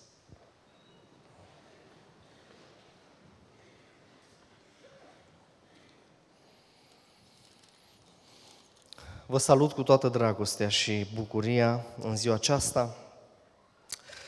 Pe voi, în primul rând, care sunteți vinovați de ziua asta frumoasă și pe dumneavoastră vă aduc salutări de la Petroșani, de la Biserica Filadelfia, salutări pe care le-am adus de altfel și joi, dar pentru o parte din dumneavoastră care ați fost prezenți la casa Domnului. Și încă o dată, primiți tot harul și toată binecuvântarea din partea lui Dumnezeu. Felicit părinții pentru ziua aceasta minunată. Vă felicit pe dumneavoastră care sunteți părinții Rominei. Ați crescut o fată minunată. Mi-am dat seama de la aeroport, când au venit după noi și până acasă, că ați crescut o fată nu minunată, ci extraordinară. Vă felicit pe voi care îmi sunteți prieteni că ați crescut un așa băiat, care astăzi să ia în piept viața de familie și să se numească soț și preot în casa lui. Și vreau să vă spun, n-am venit 3000 de kilometri, dus, întors, șase, cât or fi, să vă predic. Vă dați seama că nu se merită. Nu. No. Nu se merită să vii să vorbești 30 de minute la o nuntă. Nu se merită. Atât, mai ales că eu sunt uh, de al casei, de la Petroșani. Eu nu prea, nu prea îmi plac zborurile și așa mai departe. Am venit în mod special pentru, pentru tine, Leri, și pentru Romina. Și am venit pentru că Leri a fost și rămâne un băiat special pentru mine, undeva în sufletul meu. Și am să vă spun doar puțin, doar puțin despre, despre el, pentru că îl cunosc mai bine decât uh, o cunosc pe Romina, dar mi-am dat seama de un lucru, Romina. Și anume că te-a pregătit Dumnezeu pentru Leri ani și ani la rândul și dacă Leri e acolo lângă tine e pentru că el e o minune. E o minune. În urmă cu ani de zile Băiatul ăsta frumos pe care dumneavoastră îl aveți aici în fața dumneavoastră a căzut de la o distanță de vreo 15 metri în gol, prin niște ruine ale unui bloc de beton. 15 metri. I-am fost dascăl la școala duminicală în vremea aceea. Medicii nu i-au mai dat nicio șansă de viață, nimic, totul Fiind acolo copilul meu de suflet, am început și ne-am rugat pentru el și nu vă spun zile grele și grele și grele și fără șansă de viață. N-am să uit niciodată, Leri, cum ne-am rugat ca Dumnezeu de pe duminică pe luni să facă în așa fel încât să-ți primești albumina umană, o substanță de care are nevoie sângele, de care el avea nevoie și era foarte scumpă și părinții lui nu aveau bani. Ne-am rugat o duminică întreagă cu copiii, cu tineri acolo, să-ți dea Dumnezeu albumina de care aveai nevoie, ca să nu mori. Și Dumnezeu i-a dat-o luni. Sunt părinți aici care pot confirma și ă, știți ce vreau să vă spun, dacă ar putea, ă, mama, în mod special mama lui Leri, sunt convins atât de plină de bucurie și de emoție că ar sări ca mingea pe aici, dacă i s-ar da voie, o ține fratele Valeric acolo liniștit, soții bine, de atâtea minuni pe care Dumnezeu le-a făcut în viața lui și, și pentru că am trecut luni grele, Leri a învățat din nou să meargă, a învățat din nou să trăiască după o lună și ceva de spitalizare la, la Timișoara Crâncenă. Am învățat din nou să trăiască. El e o parte din inima mea. De-aia am venit până aici, deci nici de cum, nici de cum să predic. și să, nu, cu toate astea vreau să vă spun vouă în mod deosebit, vouă mă adresez acum și apoi dumneavoastră, Vouă care sunteți așa de frumoși, Romina, strălucești, ești, ești o minune de fată. Leri, pe tine, la tine oricum nu se uită nimeni. Și în șalopete de sunt îmbrăcați miri, n-are nimeni nicio treabă cu ei. Soacra mai trage câte o geană, așa, știi, să mai uită la tine, dar în rest, toată lumea e cu ochii pe ea. Tu ești așa frumoasă, Romina, datorită lui, să știi treaba asta. Datorită lui, El a pregătit ziua asta, El a te-a cerut, ați hotărât împreună și tu ești o minune de fată. Dumnezeu să vă țină în mâna Lui, să rămâneți uh, frumoși. Chiar dacă tineri nu o să rămâneți toată viața, dar frumoși să rămâneți. Știți ce vreau să vă spun în scurte cuvinte, nu o să țin prelegeri deosebite, la predică nici nu mă pricep foarte tare, dar așa am să vă spun dumneavoastră și vouă în mod deosebit, de ce anume care a fost scopul lui Dumnezeu când a creat familia? Știți că Dumnezeu a creat-o. Familia a fost invenția lui Dumnezeu. Tot ce a putut Dumnezeu să facă mai frumos pe pământul acesta a fost familia. Și acum eu am să vă spun scopul. De ce a făcut Dumnezeu o familie? Dumnezeu n-a făcut o familie ca unul să-și mănânce zilele celuilalt, și să aibă cu, cum să se răzbune el și ea să, să spună cuvinte jignitoare. Și așa cum se spune aici, ea nu e nici mașină de spălat, nu e nici frigider, nici aragaz, nu e nimic din toate astea. Nu de aia ne-a făcut Dumnezeu și nu de aia a făcut Dumnezeu familia. În primul rând, în primul rând, scopul pentru care Dumnezeu a făcut familia a fost acela de a comunica unul cu celălalt. Comunicare. Acum eu toate lucrurile care vi le spun încep cu litera C, de la Romina și Leri. Toate încep cu C, să le țineți bine minte. Comunicarea a fost primul scop al lui Dumnezeu. A făcut Dumnezeu animalele, toate lucrurile frumoase. L-a capacitat Dumnezeu pe Adam în așa fel încât să poată comunica cu animalele, să știți. Atâta înțelepciune i-a dat că el a pus nume animalelor și apoi el le înțelegea limbajul. Dar n-a fost suficient. El avea nevoie de ceva din el, avea nevoie de ceva de aceeași factură și atunci Dumnezeu, trimițând un somn adânc, a făcut-o pe partenera lui de viață. Știi de ce? Să comunice. Să poată vorbi. Să comunice, știi, comunicarea asta e verbală și non-verbală. Se spune că în primul an de căsnicie vorbește ea. ea. El liniștit, vorbește ea. Ha. În al doilea vorbește el. Vorbește el. Și se spune, nu-i cazul vostru și nici al nostru, se spune că din al treilea an vorbesc amândoi și ascultă vecinii. Nu e cazul vostru. Știi, cam asta e în, în, în căsătorie și cu comunicare. Și eu am să vă spun câte ceva despre comunicare. E scopul pentru care Dumnezeu a creat familia, să vorbim prin vorbe, prin gesturi să comunicăm, prin atitudine, prin tot felul de lucruri frumoase. Și acum eu am să vă spun câteva despre comunicare și să înțelegeți de la bun început. Dumnezeu va crea diferiți. Dumnezeu va crea diferiți. Și fii atent aici, Leri. Așa a creat-o Dumnezeu pe româna și o să vezi lucrul ăsta, o să te convingi de acum încolo. Ea, Romina și femeia în mod special, vorbește în medie 60.000 de cuvinte pe zi. 60. E bine. Bărbatul, așa l-a făcut Dumnezeu, vorbește 30 de mii de cuvinte pe zi în medie. Deci jumătate. Jumătate. Acum, vă vorbesc despre comunicare. Imaginează-ți așa, merge Leri la servici, nu? Mergi la servici. Taie el fructe pe acolo și ce mai face? Le face cuburi și ce le mai face? Le stoarce și le pune în pahare și mâncare și băi bucătare excelent și așa mai și el vorbește acolo, ba cu unul, ba cu altul, ba cu unul, ba cu... Și până el vine acasă, s-ar putea ca vreo 25 de mii de cuvinte să și le consume. 25 de mii. Ea rămâne acasă. Ba însărcinată, ba crește copilul, ba rămâne acasă. E să zicem, folosește ea până vii tu de la servici vreo 5 mii. Vreo 5 mii. Dar îi rămân 55 de mii. 55 îi rămân. Și el vine de la servici, mai are vreo 5.000, nici nu-i vorbăreț foarte tare și se pune la masă. Te pui la masă și numai atâta spui. Ce mai faci?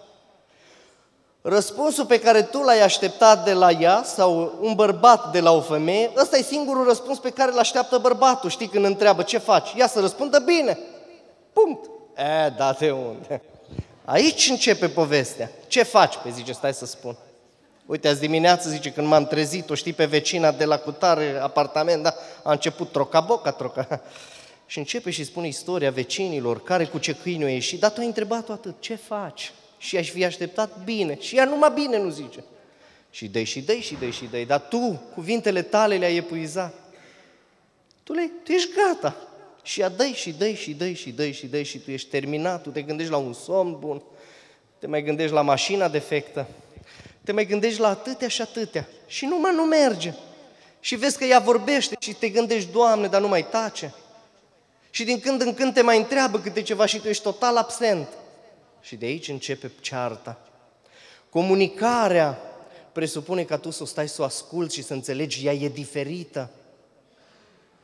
Ea vorbește dublu decât tine și tu trebuie să ai urechi să o asculți. Și nu să o asculți doar așa, să o auzi și cu gândul în altă, să o asculți privind-o în ochi. Orice femeie, orice soție își vrea așa când, când o asculți. Cu gura căscată să rămâi. Da, așa vor ele. Romina, tu să ții cont, el nu poate vorbi mai mult. Nu are, creierul lui nu poate produce mai mult în comunicare. Și o să, o, să, o să vezi, el tăcut, tăcut, tăcut, știi, până acum ați vorbit și, o să, ați vor, și în luna de miere nici nu mai e nevoie de cuvinte multe. Totul e așa. Telefoane nesfârșite, cu minute nelimitate și comunicare excelentă până acum. Dar după ce veți veni din luna de mere, încep problemele. Și începe deficiența de comunicare. Am auzit despre unii că își vorbesc, zice că sunt în aceeași casă, el într-o cameră, ea în altă cameră, își vorbesc pe Viber pe internet. Și el îi spune ei, zice, mi-e foame. Acolo îi tastează și îi trimite. Ia din camera la altă spune și ce dacă? Du-te la frigider, simplu. Comunicare. El funcționează în mod diferit de tine, el vorbește mai puțin decât tine și tu trebuie să înțelegi. Noi bărbații nu avem atâtea cuvinte. Nu avem atâtea cuvinte. Pe când ea, întotdeauna are mai mult. Apoi, ca să înțelegeți un alt aspect în comunicare, el, Romina, funcționează diferit față de tine. Un bărbat, când este supărat, o să mai vină necăjit, poate de la serviciu, obosit, stresat, îngândurat, ce s-o mai fi întâmplat pe la biserică, pe la departamentul la de care, în care slujește, fel și fel. Un bărbat când vine supărat, cel mai bine e să-l lași în pace o perioadă. Să-l lași, el se retrage singur, într-o cameră și acolo el le gândește, așa gândim noi, le gândește și le rumegă cum să rezolve el problema, atunci să nu-l cicălești. Să nu, lasă-l, lasă-l în pace. Ei, dar femeia funcționează diferit. Știți cum funcționează femeia? Ea de-abia așteaptă să o întreb ce s-a întâmplat de ești supărat. Și ea dă și dă și dă și dă și dă. Dar bărbatul, el crede așa. Păi ea funcționează ca mine. Adică e simplu, o lasă în pace. O las în pace și o lași în pace și după aia îți spune, da, știu, nu-ți place însura. Uite, nu mai băgat în seamă că tu crezi că ea funcționează ca și tine. Dar ea funcționează diferit. Pe ea trebuie să o întrebi, pe ea trebuie să o asculți. Toate lucrurile de nimic, care sunt nimicuri pentru tine, pentru ea sunt lucruri extraordinare. Lucruri extraordinare. El funcționează diferit. Tu crezi așa. Aoleu, e supărat și îl vezi, îl simți. Numai decât pe el. Dar ce ai? Dar ce s-a întâmplat? Da, nu-ți place însurat? Nu, el numai atât are nevoie de puțin tică liniște, să gândească. Nu știu la ce, că de regulă nu prea gândim noi așa. Că de pot bărbații să pescuiască. Ce fac bărbații la pescuit? Stau cu un băț în apă. Simplu. Deci nimic. Deci numai bărbații pot să nu gândească, știi? Adică lasă-l. Când îl vezi necăjit și stresat, lasă lasă-l în pace. Așa funcționează mintea. Așa l-a creat Dumnezeu pe bărbat. Așa la... Păi vă imaginați o femeie la pescuit? Taca, taca, taca, taca, taca, taca, toți peștii de pe oari, așa, de câteva maile, s-ar duce. Înțelegi? Noi funcționăm diferit și asta e frumusețe. Dar noi trebuie să înțelegem asta. Noi trebuie să înțelegem asta. Apoi, vă mai spun ceva. S-ar putea în decursul vieții voastre vis-a-vis de comunicare să aveți probleme între voi, să mai apară tot felul. Nu puneți mâna pe telefon numai decât să vă sunați părinții. E, m-am însurat, m-am măritat, dar nu e așa. Nu mergeți la păstor. Eu n-am văzut așa în umblarea mea mulți păstori să rezolve problemele în familie. Nu. Nu soacrele vă rezolvă probleme, nu părinții, nu consilierii marital sau pre sau post marital, nu. Acum, dacă ai tu vreun motiv vreodată, Romina, să te plângi de Leri, că nu-ți place, nu știu ce la el și că ți-a zis un cuvânt, acum eu vă spun la ce, pe, cum să vă părâți unul pe celălalt și să rezolvați problema. Pentru că voi întâi și întâi trebuie să aveți o comunicare pe verticală foarte bună cu Dumnezeu. Oamenii care vorbesc bine și corect cu Dumnezeu vorbesc bine și corect între ei. Comunică bine ei între ei. Oamenii care n-au comunicare cu Dumnezeu, ăștia nu se pot suporta unul pe celălalt. Deci dacă e cineva aici care nu-l poate suporta, înghiți, rumega pe altul, e de asta, n-ai o comunicare bună pe verticală. Și auzi ce poți să faci, Romina, foarte simplu, vă puneți la rugăciune. Și tu îi spui, ai voie să-L părăși lui Dumnezeu pe Leri în prezența Lui și să-i spui așa, Doamne, Tu ne vezi, Tu ne cunoști, Tu știi cât de tandru era Levi altă dată, ă, ă, Leri altă dată. Dar uite acum ce s-a răcit. Și el aude asta. Mi-aș dori ca altă dată să mă țină în brațe, dar nu mă mai ține. Și mi-aș dori, Doamne, cuvintele alea frumoase ce mi le spunea El, să mi le spună, dar nu mi le mai spune și Tu să-i spui Domnului asta. Nici n-ai terminat rugăciunea și ești în brațele Lui. Încearcă. Și tu dacă ai vreun motiv și nu-ți place ciorba și nu-ți place pireu, că nu-i pasat foarte bine și carnea, că nu-i prăjită pe ambele părți, cum o mâncai acasă la sora Iuliana, spune lui Dumnezeu, Doamne, dar Tu știi la început cum era. Mi-aș dori soția mea să fie așa și să mă aștepte cu mâncarea, Doamne. Pune-i asta în inima ei și da spune-i tare lui Dumnezeu în prezența ei. Aveți voie să vă părâți lui Dumnezeu. Atât. Și să-i spuneți unul lui Dumnezeu despre celălalt și în prezența lui e cel mai bine. Și apoi să vezi ciorba cum se, se va încălzi și apoi să vezi cum vor fi prăjite aripioarele și pe o parte și pe aia. Și câte și mai câte. Părâți-vă lui Dumnezeu. Părâți-vă lui Dumnezeu. Asta e o comunicare eficientă. Nu vă spuneți problemele la unii și la alții. Că ei nu vă pot rezolva niciunul de aici problemele. Numai Dumnezeu. De asta ne-a creat Dumnezeu să comunicăm eficient unii cu ceilalți, dar să înțelegem că suntem diferiți. Problemele nu ni rezolvă nimeni decât noi și Dumnezeu. Stați de vorbă cu Dumnezeu în fiecare zi. Ehm, el s-a supărat odată pe ea, un soț pe o soție, dar groaznic s-a supărat pe ea. Nici nu i-a mai vorbit o zi întreagă. Vă recunoașteți unii? Sau vă regăsiți? Nu i-a mai vorbit. Și acum, el, totuși, seara, îi lasă un bilet ei pe noptieră. Erau la culcare de acum și el îi lasă un bilet. Zice, mâine am așa probleme de rezolvat foarte mari te rog să mă trezești la ora 5 dimineața, dar lasă scris pe un bilet. Și se pune la culcare gândindu-se că soția lui iubitoare și de ani de zile stând cu el, sigur o să-l trezească la ora 5 să-și rezolve problemele. Și doarme asta, doarme. Și se trezește dimineața cu un soare strălucitor. Era ora 10 dimineața. Supărat, s-o gândit, uite, nu n-a vrut asta nici cum să mă trezească. Și se uită și lângă, lângă uh, uh, el acolo pe noptieră un bilet din partea ei pe verso, scris biletul pe verso. Scria pe verso, este ora 5, trezește-te. Asta nu e comunicare, asta nu e comunicare. Vorbiți-vă prin gesturi, zâmbiți-vă unul altuia, fiți tandri unul cu celălalt. Poți așa, nu știu unde stați voi în biserică, dar din când în când să vă aruncați așa câte o privire de asta frumoasă. Frumoasă. Și asta e o comunicare. Comunicați frumos între voi, spuneți-vă cuvinte frumoase, nu, nu vă jigniți niciodată.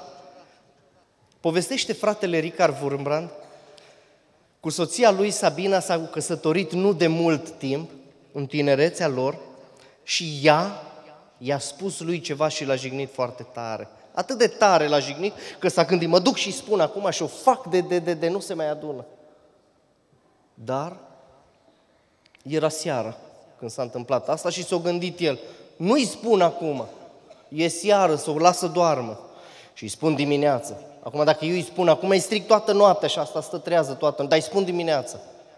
Și dimineața s-au trezit și când s-au trezit, miros de ceai îmbietor, așa cu pâine prăjită nou, Așa frumos mirosea în casă și el aștepta cu, cu micul dejun și s-o gândit, nu-i spun acum, uite, i-am face așa și o să o jignesc acum și să-i spun ce am eu să-i spun. Lasă că-i spun la amiaz când vin eu de la, de la, de la, de la slujbă. Și a venit la amiaz de la slujbă chitit să-i spună. La amiaz, când a venit de la slujbă, au venit musafiri la ei în casă și s-au gândit, s-a gândit, acum cum să-i spun că sunt musafirii? Las că-i spun de seară. Pleacă musafirii și îi spun. Și a venit seara. Și seara au vorbit, au vorbit și s-au gândit. Acum iar îi spun și vine noaptea, nu îi spun dimineața. Și spune el, au trecut 45 de ani din ziua aceea. N-am încetat să o cer. Și acum vreau să o cer, dar nu mai știu motivul. Nu mai știu de ce. E simplu, amânați. Mă vrei să-i spui ceva, să, să, să o topești? Amână, nu, nu, nu, nu, nu mă amân. Las că-i spun mâine, las că-i spun mai dincolo și o să uiți într-o bună zi. Uitarea. E atât de important. Vrei să-i spui un cuvânt greu? Amână. Amână peste o altă zi. Și o să uiți. Comunicare. Nu uitați. Dumnezeu pentru asta va crea. Să vor... Ce ați vorbit voi până acum? Dar de acum înainte. Dar de acum înainte.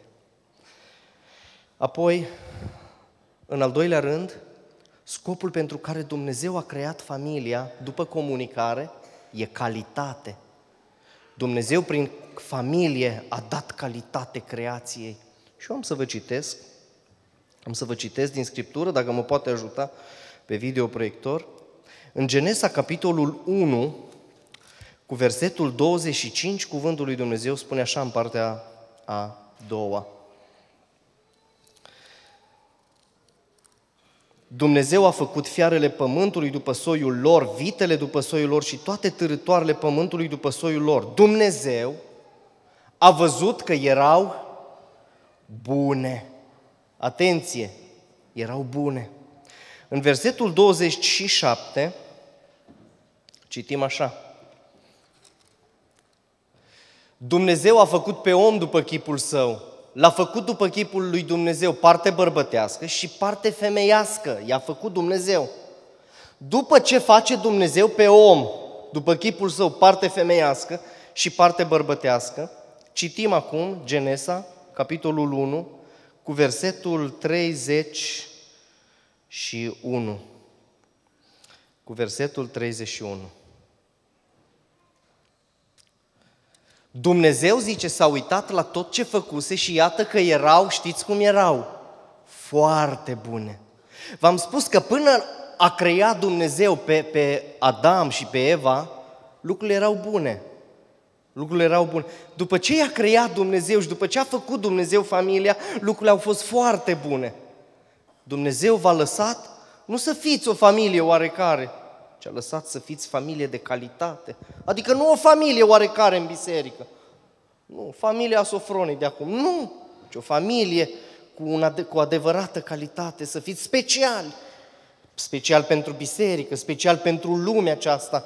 Deci trebuie să dați calitate căsătoriei voastre. Romina, ca să fii o soție de calitate, pentru că nu poți oricum să fii pentru leri, imaginează ce dar special ți-a dat Dumnezeu prin Leri, ca să fii un dar special pentru el, tu trebuie să fii și să nu fii trei lucruri în același timp.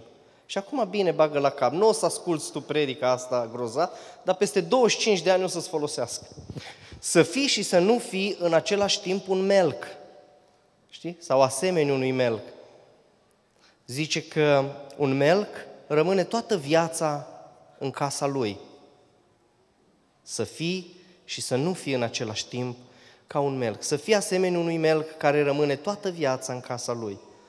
Nu în alte case, nu, în a ta. Acolo trebuie să-ți găsești fericirea. Dar să nu fii asemenea unui melc care își poartă greutatea singur. Îl ai lângă tine pe Leri. De multe ori, surorile, soțiile noastre au tendința ca tot greu să-l poarte ele. Nu, Împărțiți-vă greul cu cel de lângă voi, să fii și să nu fii un melc, să fii și să nu fii un ecou, asemenea unui ecou, Să fii un, asemenea unui, unui ecou care întotdeauna răspunde. Știi, când vorbești, îi se răspunde. Câteodată, foarte rar, dar câteodată se întâmplă femeile să nu vorbească. Dar de ciudă. De ciudă. Domnule, nu mai vor să vorbească. Și le spui frumos. Și în ce? Nu, li s-a părut lor ceva și nu mai vor să vorbească. Fiți asemenea unui ecou. Când vi se vorbește, răspundeți. Când vi se vorbește, răspund. Dar să nu fii asemenea unui ecou care are ultimul cuvânt întotdeauna. Nu. Și să fii și să nu fii asemenea unui orologiu. Un orologiu întotdeauna dă ora exactă, disciplina familiei și disciplina casei. E în mâinile tale. Dar să nu fii un orologiu care să te audă tot orașul. Făcând așa, vei da calitate familiei tale. Melc, ține cont, melc, ecou și orologiu. Acum tu ai de făcut un singur lucru. Ca să dai calitate și să ai o familie de calitate, trebuie să faci un singur lucru, și anume pe care îl cere Scriptura, sacrificiu. Știți că noi bărbații ne sacrificăm pentru soțiile noastre și oricând suntem gata să murim pentru ele, arși pe rug, crucificați, spânzurați, nu mai știu în ce fel, dar nu suntem în stare să ducem gunoiul? Știți treaba asta? Că ne trimit cu gunoi și nu suntem în stare, dar noi ne sacrificăm pentru el. Doamne, câte lucruri facem grozave, pentru... dar nu ducem gunoiul. Nu facem lucrurile mărunte. O vezi bol, nu ne clădi, nu-ți clădi, Leri, niciodată fericirea ta pe nefericirea ei. A făcut Avram treaba asta cu Sara. Nefericită, ea o luat-o un alt împărat, să o ia de nevastă, el să fie bine. Să fie el bine, o mințit, lasă, du-te tu, să-ți fie ție rău, să-mi fie mie bine. Noi bărbați avem tendința să ne clădim fericirea pe nefericirea soțiilor noastre. Dar în rest ne sacrificăm pentru ele. Oameni buni, sacrificiu unui soț se vede în lucrurile mărunte, nu în alea mari, în lucrurile mărunte. În lucrurile mărunte. Nu uitați, Dumnezeu a creat familia pentru calitate. Voi nu sunteți o familie oarecare. Și în al treilea rând, și cu asta închei, al treilea scop al lui Dumnezeu pentru familie. De ce a făcut Dumnezeu familia? Și ce anume cere Dumnezeu de la o familie este credincioșie, consecvență. Ce faceți astăzi, toată viața voastră trebuie să duceți. E trist din ce în ce mai multe familii la divorț. E trist. Dumnezeu a creat familia cu un scop, credincioșie. Subiecte care se dezbat din ce în ce mai teologic. E, domnule, dacă mă, cineva se desparte, are voie să se re, are voie. Cu cine? Tâmpenii, oameni buni. Păi Dumnezeu, când a creat familia, a creat-o cu gândul că vreodată ăștia doi se vor despărți? Credincioșie, la bine și la greu. Pentru că asta o să spuneți. Nu atâta timp cât ne e bine, nu atâta timp cât suntem tineri și frumoși, cât nu... Știi, Larry, ia uite-te la ea, e o, e o prințesă astăzi. Vreau să spun, s-ar putea după prima naștere să-i apară varice, riduri. Fața asta frumoasă sau frumusețea asta de pe fața ei se va duce în inimă. Astăzi, uită-te la Larry, tu-l vezi cât de frumos, tras prin inel. Inel, inel, nu inel. Inel. S-ar putea peste 10-15 ani. Mă uit, mă, mă uit la mine, nu poți să mă faci mai subțire. Acolo. Să... Așa eram eu.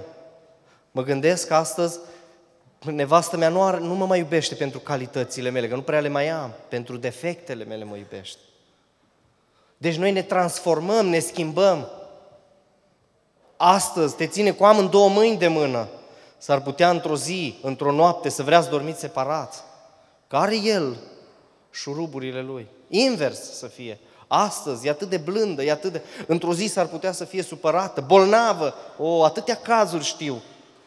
Când au rămas infirmi și își duce el Până la capăt, că asta e credincioșie, oameni buni. Nu ne despărțim așa numai că bate vântul. Zice că un, un, un soț, un bărbat într-o zi s-a dus la medic. Era foarte bolnav. S-a dus la medic și ducându-se la medic i-a spus, mă simt foarte rău. Medicul l-a întrebat, ai mâncat astăzi? Am mâncat. Nu pot să-ți fac analize. Te duci și vii mâine dimineață la ora 9 să-ți fac analize și el spune, nu pot. Cum nu poți? pentru binele tău, vino să-ți iau analize.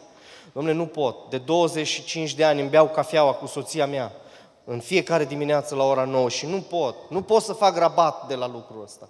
Omule, odată vii să-ți bei aici cafeaua dacă trebuie, dar vii să-ți iau analize, uite-te cum arăți. Nu pot, domnule. De 5 ani, de 5 ani soția mea internată într-un ospiciu de boli mentale. Nu pot, eu trebuie să fiu acolo la ora 9 să-mi beau cafeaua cu ea. Omule, mai ales că e internat acolo, ai putea să vii, ai putea să, să, să-ți rezolvi problema. Nu pot, domnule, de 2 ani, spune el. Soția mea nici măcar nu mă mai cunoaște, nu mai știe cine sunt. Omule, dar dacă ea nu știe cine ești, vină să-ți fac analize. Și el, soțul ăsta, îi răspunde după ani de suferință, îi spune așa doctorului, domnul doctor, ea nu știe cine sunt eu, dar știu eu cine este ea. Asta e credincioșie. Asta e credincioșie, Leri și Romina. Într-o zi unul din voi s-ar putea să nu mai știe cine e celălalt, dar știi tu. Rămâneți în picioare unul lângă celălalt, mână în mână. Nu există cale de întoarcere. Nu există în familia voastră să nu cumva vreodată să pronunțați cuvântul ăsta numit de despărțire sau divorț. Nu aveți voie. Dacă trebuie să mori cu ea de mână, mor cu ea de mână. V-am adus ceva să vă citesc aici. E o filă de istorie reală și eu vreau să vă citesc și dumneavoastră să vedeți ce înseamnă credincioșie. Ăsta e scopul lui Dumnezeu pentru familie, credincioșie, până la moarte.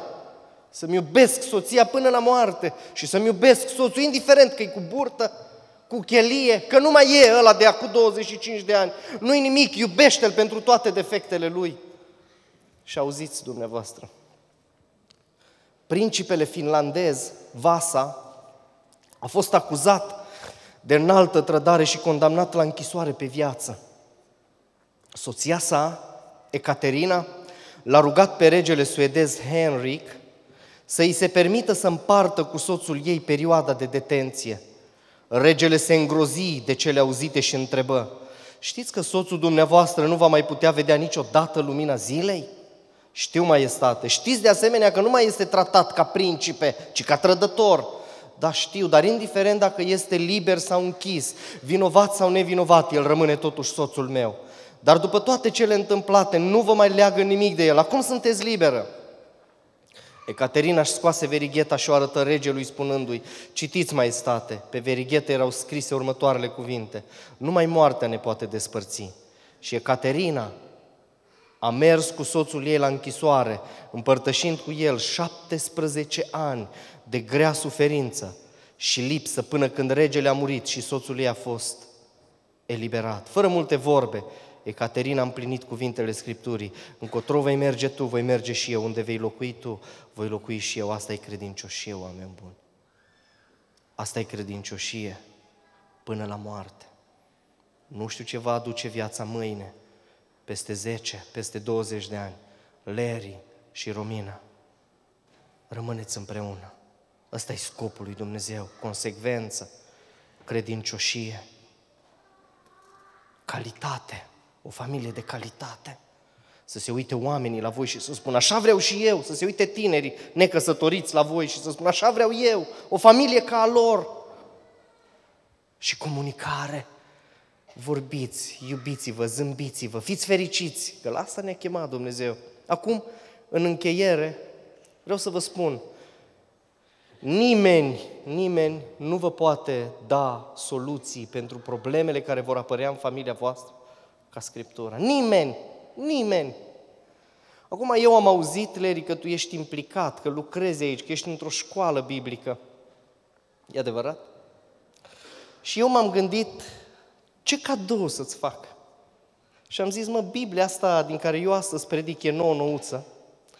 E o Biblie de studiu, eu nu cred, nu cred, dar s-ar putea, cum mai are cineva. E cea mai recentă apariție uh, traducere de Cornilescu, nici nu-ți imaginezi cât e de bogată și e plină de, de, de, de învățăminte și cu studii pe fiecare verset și cu exegeză și cu... M-am gândit că vă va folosi să vă apropiați de Dumnezeu. Rețineți, vă fac cadou ăsta în fața bisericii. Biblia nu trebuie citită. Biblia trebuie iubită, Biblia trebuie studiată și Biblia trebuie trăită. Trăiți. Eu vă fac cadou. Am și husa la ea, husa o să vă dau după aia. E o husă grozavă. Și dea Domnul să fii aici în biserica asta un slujitor. Unul care trăiește Scriptura și care o predică altora. Dumnezeu să vă binecuvinteze pe voi și Dumnezeu să vă binecuvinteze pe dumneavoastră. Amin.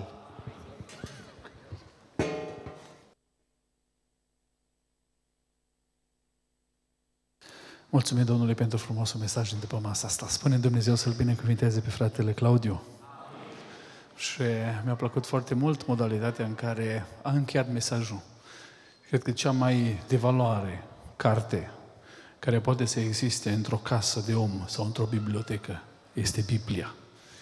Cel mai frumos manual și cel mai real manual care poate să existe în viața de familie este Biblia. Cea mai vie carte care poate să aducă viață și care are soluții pentru fiecare circunstanță a vieții este Biblia. Slăvit să fie numele Domnului. Să o păstrăm în casele noastre. În mod simbolic a primit-o Leri și cu Romina. Să o păstrăm în casele noastre ca fiind cartea de căpătâi pe care să o citim și să o împlinim în fiecare zi. Spun, Doamne ajută! Haideți acum să ridicăm cu toată biserica în picioare și în timp ce stăm în picioare, rog grupul de cântare să vină în față. Ne organizăm pentru oficierea slujbei de căsătorie, de cununie religioasă pe care o avem. Uh, rugăm uh, grupul să cânte un verset de cântare, timp în care împreună cu slujitorii ne vom ocupa pozițiile și vom continua slujirea noastră.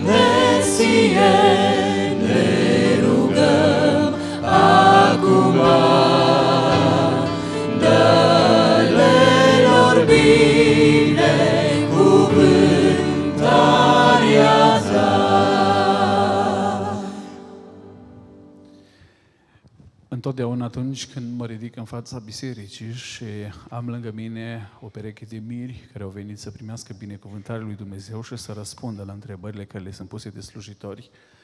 Mă gândesc că pe lângă sutele de perechi de ochi care sunt îndreptați înspre noi, sunt alte poate câteva sute de mii de alte perechi de ochi care ne privesc. Dar există o pereche de ochi, cred eu, cea mai importantă, care este ațintită asupra noastră. Sunt ochii lui Dumnezeu care ne privesc care nu se opresc, a căror privire nu se oprește la ceea ce noi vedem cu ochii aceștia fizici și El depășește orice imaginație noastră. El vede lucrurile pe care noi nu le vedem și înțelege lucrurile pe care noi nu le înțelegem. Așa este Dumnezeu. Vreau să-i fac conștienți pe Leri și pe Romina de faptul că noi suntem priviți în momentele acestea de oamenii care îi privim în față, din sală, părinți, frați, copii care sunt aici prezenți, oameni care au venit să asiste la nunta voastră și în același timp lumea spirituală este atentă la noi. Acum fratele Florin va pune întrebările pentru Leri, eu le voi pune pentru Romina și apoi ne vom ruga pentru ei. Conștienți de prezența lui Dumnezeu, să fim atenți la întrebări și să răspundem corect. Doamne ajută-ne! Înainte ca să îi adresez întrebările lui Larry și la care el va răspunde hotărât și tare, vreau să vă spun un lucru care s-ar putea să vă surprindă uh, în legătură cu căsătoria. Să știți că căsătoria nu este pentru totdeauna. Aș știu lucrul acesta. Valabilitatea căsătoriei este doar pe pământ. Atât. Și în cer nimeni nu va mai fi soț și soție. Și aici puteți să răsuflați ușurați, că nu o să mai fie soț și soție în cer. E, pentru tot timpul cât ei vor trăi pe pământ, vor trebui să declare în fața bisericii, în fața părinților și în mod special în fața lui Dumnezeu despre dragostea pe care și-o poartă unul altuia și despre care trebuie să confirme înaintea tuturor. Fratele Leri, am ajuns și ziua de astăzi în care să te întreb de față cu soția ta dacă din dragoste și fără nicio circumstanță o iei astăzi în căsătorie doar din dragoste pe Romina. Da, da, doar din dragoste. Dumnezeu să te binecuvinteze. Să știi că în viața de familie vor fi foarte multe lucruri care voi nu le puteți anticipa acum. Nici măcar nu le puteți gândi. În viață veți ajunge prin necazuri, prin suferință, prin încercări, prin lucruri bune și lucruri mai puțin bune. Credincioșia unei persoane, să, știți că, să știi că nu este dovedit atunci când lucrurile sunt bune. Cel mai ușor e să iubești o persoană atunci când toate lucrurile sunt în regulă. Cel mai greu să iubești o persoană atunci când lucrurile nu merg așa cum ar trebui să fie. Eu aș vrea să te întreb astăzi, indiferent de ceea ce Dumnezeu a pregătit pentru voi, dacă în momentele de încercare, dacă în momentele de suferință, ești hotărât să o iubești, să o protejezi și să fii împreună cu Romina. Da. Dumnezeu să te binecuvinteze. Da, o să trebuia să fie un pic mai hotărât. Aș vrea să te mai întreb acum la sfârșit dacă pentru toată viața, cât vei trăi pe pământul acesta, vrei să păstrezi acest legământ al căsătoriei și să rămâi soțul Rominei. Da, pentru toată viața. Dumnezeu să te binecuvinteze.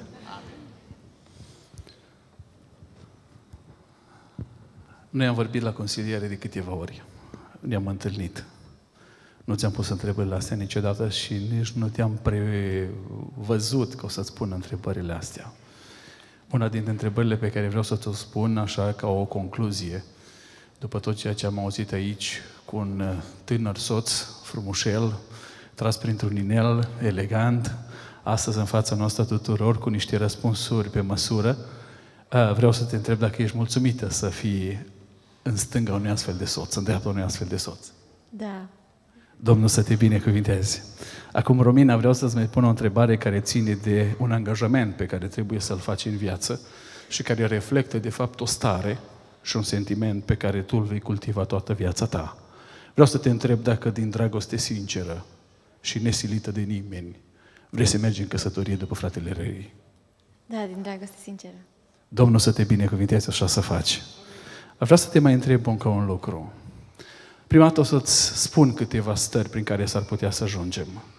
Că așa suntem noi oamenii. Noi nu mergem întotdeauna pe un drum pe care noi îl cunoaștem foarte bine dinainte. Întotdeauna în viața noastră sunt lucruri care sunt enigmatice pentru noi. La un moment dat noi nu realizăm pericolul care ne paște și nici nu realizăm subtilitatea cu care diavolul uneori ne atacă pentru că este foarte isteț. Am citit astăzi în Biblie că este șiret. Era cel mai șiret dintre toate viețuitoarele care erau atunci. Câteodată, datorită realizărilor și datorită muncii pe care noi o depunem, ajungem în anumite stări în care suntem bucuroși de ele și suntem împliniți. Dar în astfel de momente sau în stările în care coborăm jos în voi adânci, diavolul are subtilitățile lui și vine cu fel și fel de provocări și cu fel și fel de forme. Ba, acuzându-ne că iubim un soț bolnav, ba acuzându-ne că iubim un soț care s-a îngrășat sau probabil și-a schimbat aspectul exterior, ba acuzându-ne sau punându-ne în față modalități prin care am putea să alegem. Vreau să te întreb astăzi în fața martorilor despre care tocmai am vorbit. Dacă, indiferent de circumstanțele vieții în care vei ajunge, îl vei iubi tot așa de mult pe Leri cum îl iubești acum? Da. Se poate și mai mult? Da. Domnul să te binecuvinteze. Iubirea este o progresie în viață. Încă un lucru pe care vreau să ți spun, uh, tot legat de iubire. M-am obișnuit la noi să pun întrebarea asta la mirese. De ce? Pentru că curentul feminist în ultima perioadă capătă valențe uh, incontestabile de societate. Oamenii uh, privesc mișcarea feministă ca ceva care este normal să fie și toți oamenii spun, adică majoritatea oamenilor spun că femeia, de fapt, trebuie să aibă un statut egal cu a bărbatului. În raport cu legile statului și cu răspundere civilă sunt foarte de acord. Dar în cadrul familiei Dumnezeu a stabilit o rânduială pe care fiecare persoană care crede în Dumnezeu trebuie să o respecte. Și Biblia spune în felul următor, că femeia trebuie să fie supusă soțului ei ca Domnului. Vreau să te întreb astăzi în fața tuturor, ești dispusă să faci lucrul ăsta în viața ta de căsnicie? Da, din toată inima. Dumnezeu să te binecuvinteze. Este o dovadă a faptului că ești hotărâtă să-L iubești. Dumnezeu să te ajute să faci lucrul acesta. Până când ești hotărâtă să păstrezi acest angajament pe care astăzi l-ai făcut public în fața noastră tuturor. Toată viața. Dumnezeu să te ajute. Haideți acum să ne aplicăm pe genunchi, să se aplece mirii, de fapt, pe genunchi. Noi, slujitorii, vom încercui, vom fi împreună cu ei și ne vom ruga ca Dumnezeu să le binecuvinteze viața lor de căsnicie. Rog toată audiența să aplice capul și să închidă ochii. În momentele acestea suntem în fața Ta, Doamne, conștienți de prezența Ta în mijlocul nostru. Și dacă este vreun lucru pe care vrem să-l facem, este că îți mulțumim că ai luat act de cunoștință la tot ceea ce se întâmplă aici. Slăvit să-ți fie numele Tău. Și mai mult decât atât, pe lângă toate consemnările care s-au făcut astăzi, tu ai consemnat vorbele pe care Leri și Romina le-au spus în fața noastră a tuturor. Doamne, binecuvintează-i și ajută să-și păstreze cuvintele pe care le-au rostit astăzi au pornit astăzi pe drumul vieții lor și au pornit astăzi din Biserica Betel, de aici, din Dublin. Împreună cu ei sunt părinții, împreună cu ei suntem noi slujitorii, suntem oamenii care am venit să asistăm la nunta lor și ei vor pleca. Mâine nu știm unde vor fi, dar te rugăm pe tine, indiferent de circumstanțele vieții în care vor ajunge și în locurile unde pașii vieții lor îi vor călăuzi, Doamne, să fii cu ei mereu. Binecuvintează-i cu prezența Ta. Doamne, atunci când vor ajunge la momente grele în viață, când nu vor ști încotro să se întoarcă, când nu vor ști pe cale cale să se ducă, Doamne, când vânturile vor bate din toate direcțiile sau soarele va străluci așa de puternic, când le va orbi ochii, Doamne, te rog, file călăuză pe drumul lor de căsnicie. Binecuvintează-i cu prezența Ta, Doamne. Atunci când vor avea nevoie în viață și când își vor apleca genunchii, când vor avea nevoie să aibă un cuvânt din partea cuiva, Doamne, astăzi au fost îndemnați să vorbească cu Tine. Doamne, atunci când vor încerca să vorbească cu Tine, răspundele din ceruri, prin cuvântul Tău cu înțelepciunea Ta, Doamne. Doamne, dacă le vei dărui valori în viață, te rog să li le dai binecuvântate de Tine. Dacă le vei dărui copii, dăruiește-li sănătoși, Doamne. Dacă vor avea nevoie în viață de lucruri speciale, o fi în lucrurile acelea speciale în viața lor. Binecuvintează-i cu apă, cu pâine, cu îmbrăcăminte, cu acoperiș deasupra capului de fiecare dată și fă ca și casa lor, Doamne, ca și toate casele Sfinților să fie o binecuvântare pentru cei care vor intra în ele. Binecuvintează în felul acesta, Doamne. Apoi, Doamne, te rog, așa cum astăzi am vorbit despre lucrul acesta, fă să stabilească ținta. O, Doamne, fă să ajungă în împărăția Ta, împreună cu toți sfinții, Doamne, Leri și Romina, împreună cu copiii care li vei dărui, Doamne. Binecuvintează-i pe calea aceasta, Doamne, și fi cu ei în fiecare clipă. Încredințăm în brațul Tău, conștienți de faptul că mai mult decât am știut noi să cerem, mai mult decât am știut noi să rostim astăzi, în data de 15 martie 2015, tu ai notat în cerul tău pentru ei și ai notat modalitatea prin care îi vei binecuvânta și îi vei însoți. Binecuvintează și călăuzește Doamne, îi încredințăm în brațul tău de acum și în vecii vecilor. Amin.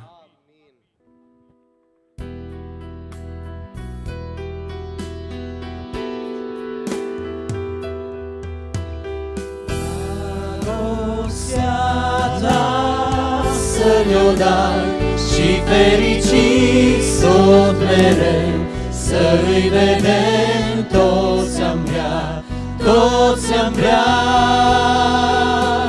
Drag dragostea ta să le-o dai și fericiți tot mereu, să îi vedem toți am vrea, toți am vrea. La data de 6 martie 2015, în fața ofițerului de stare civilă la primăria Dublin, Leri și Romina au spus da. Astăzi, înainte lui Dumnezeu, înaintea noastră, celor care am privit și înaintea lumii spirituale, Leri și Romina au repetat același jurământ de credință, s-a cerut binecuvântarea lui Dumnezeu pentru ei, iar acum noi, în calitate de slujitori, permiteți-ne să îi declarăm căsătoriți, și să vă prezentăm dumneavoastră celor care ne priviți în momentele acestea cea mai proaspătă pereche a Bisericii Betel. Să spunem din toată inima, Dumnezeu să-i binecuvinteze. Ofer posibilitatea înainte de toate slujitorilor care au fost la nunta lor să-i felicite, apoi o să facem câteva anunțuri și o să oferim posibilitatea tuturor celor care ați participat să-i felicitați. Desigur, vom face lucrurile astea în limitele în care vom anunța. Rog frații să cânte timp în care îi felicităm și apoi organizăm următoarele momente ale slujirii noastre.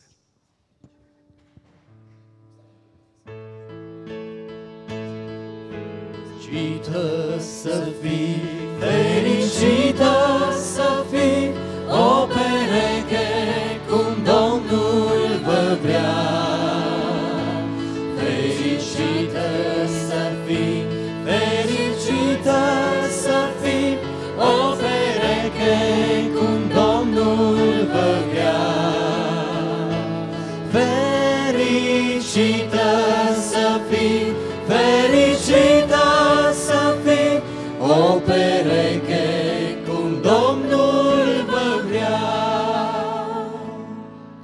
Vreau să fac câteva anunțuri scurte referitoare la ceea ce se va întâmpla în săptămâna care urmează în Biserica Betel, nu înainte de a mă adresa cu mulțumiri într-un mod special slujitorilor care au slujit în după masa asta, musafirilor care au vizitat biserica. Nu o să vă repet numele acum, spun Dumnezeu să vă binecuvinteze și să vă răsplătească pentru tot ceea ce ați făcut.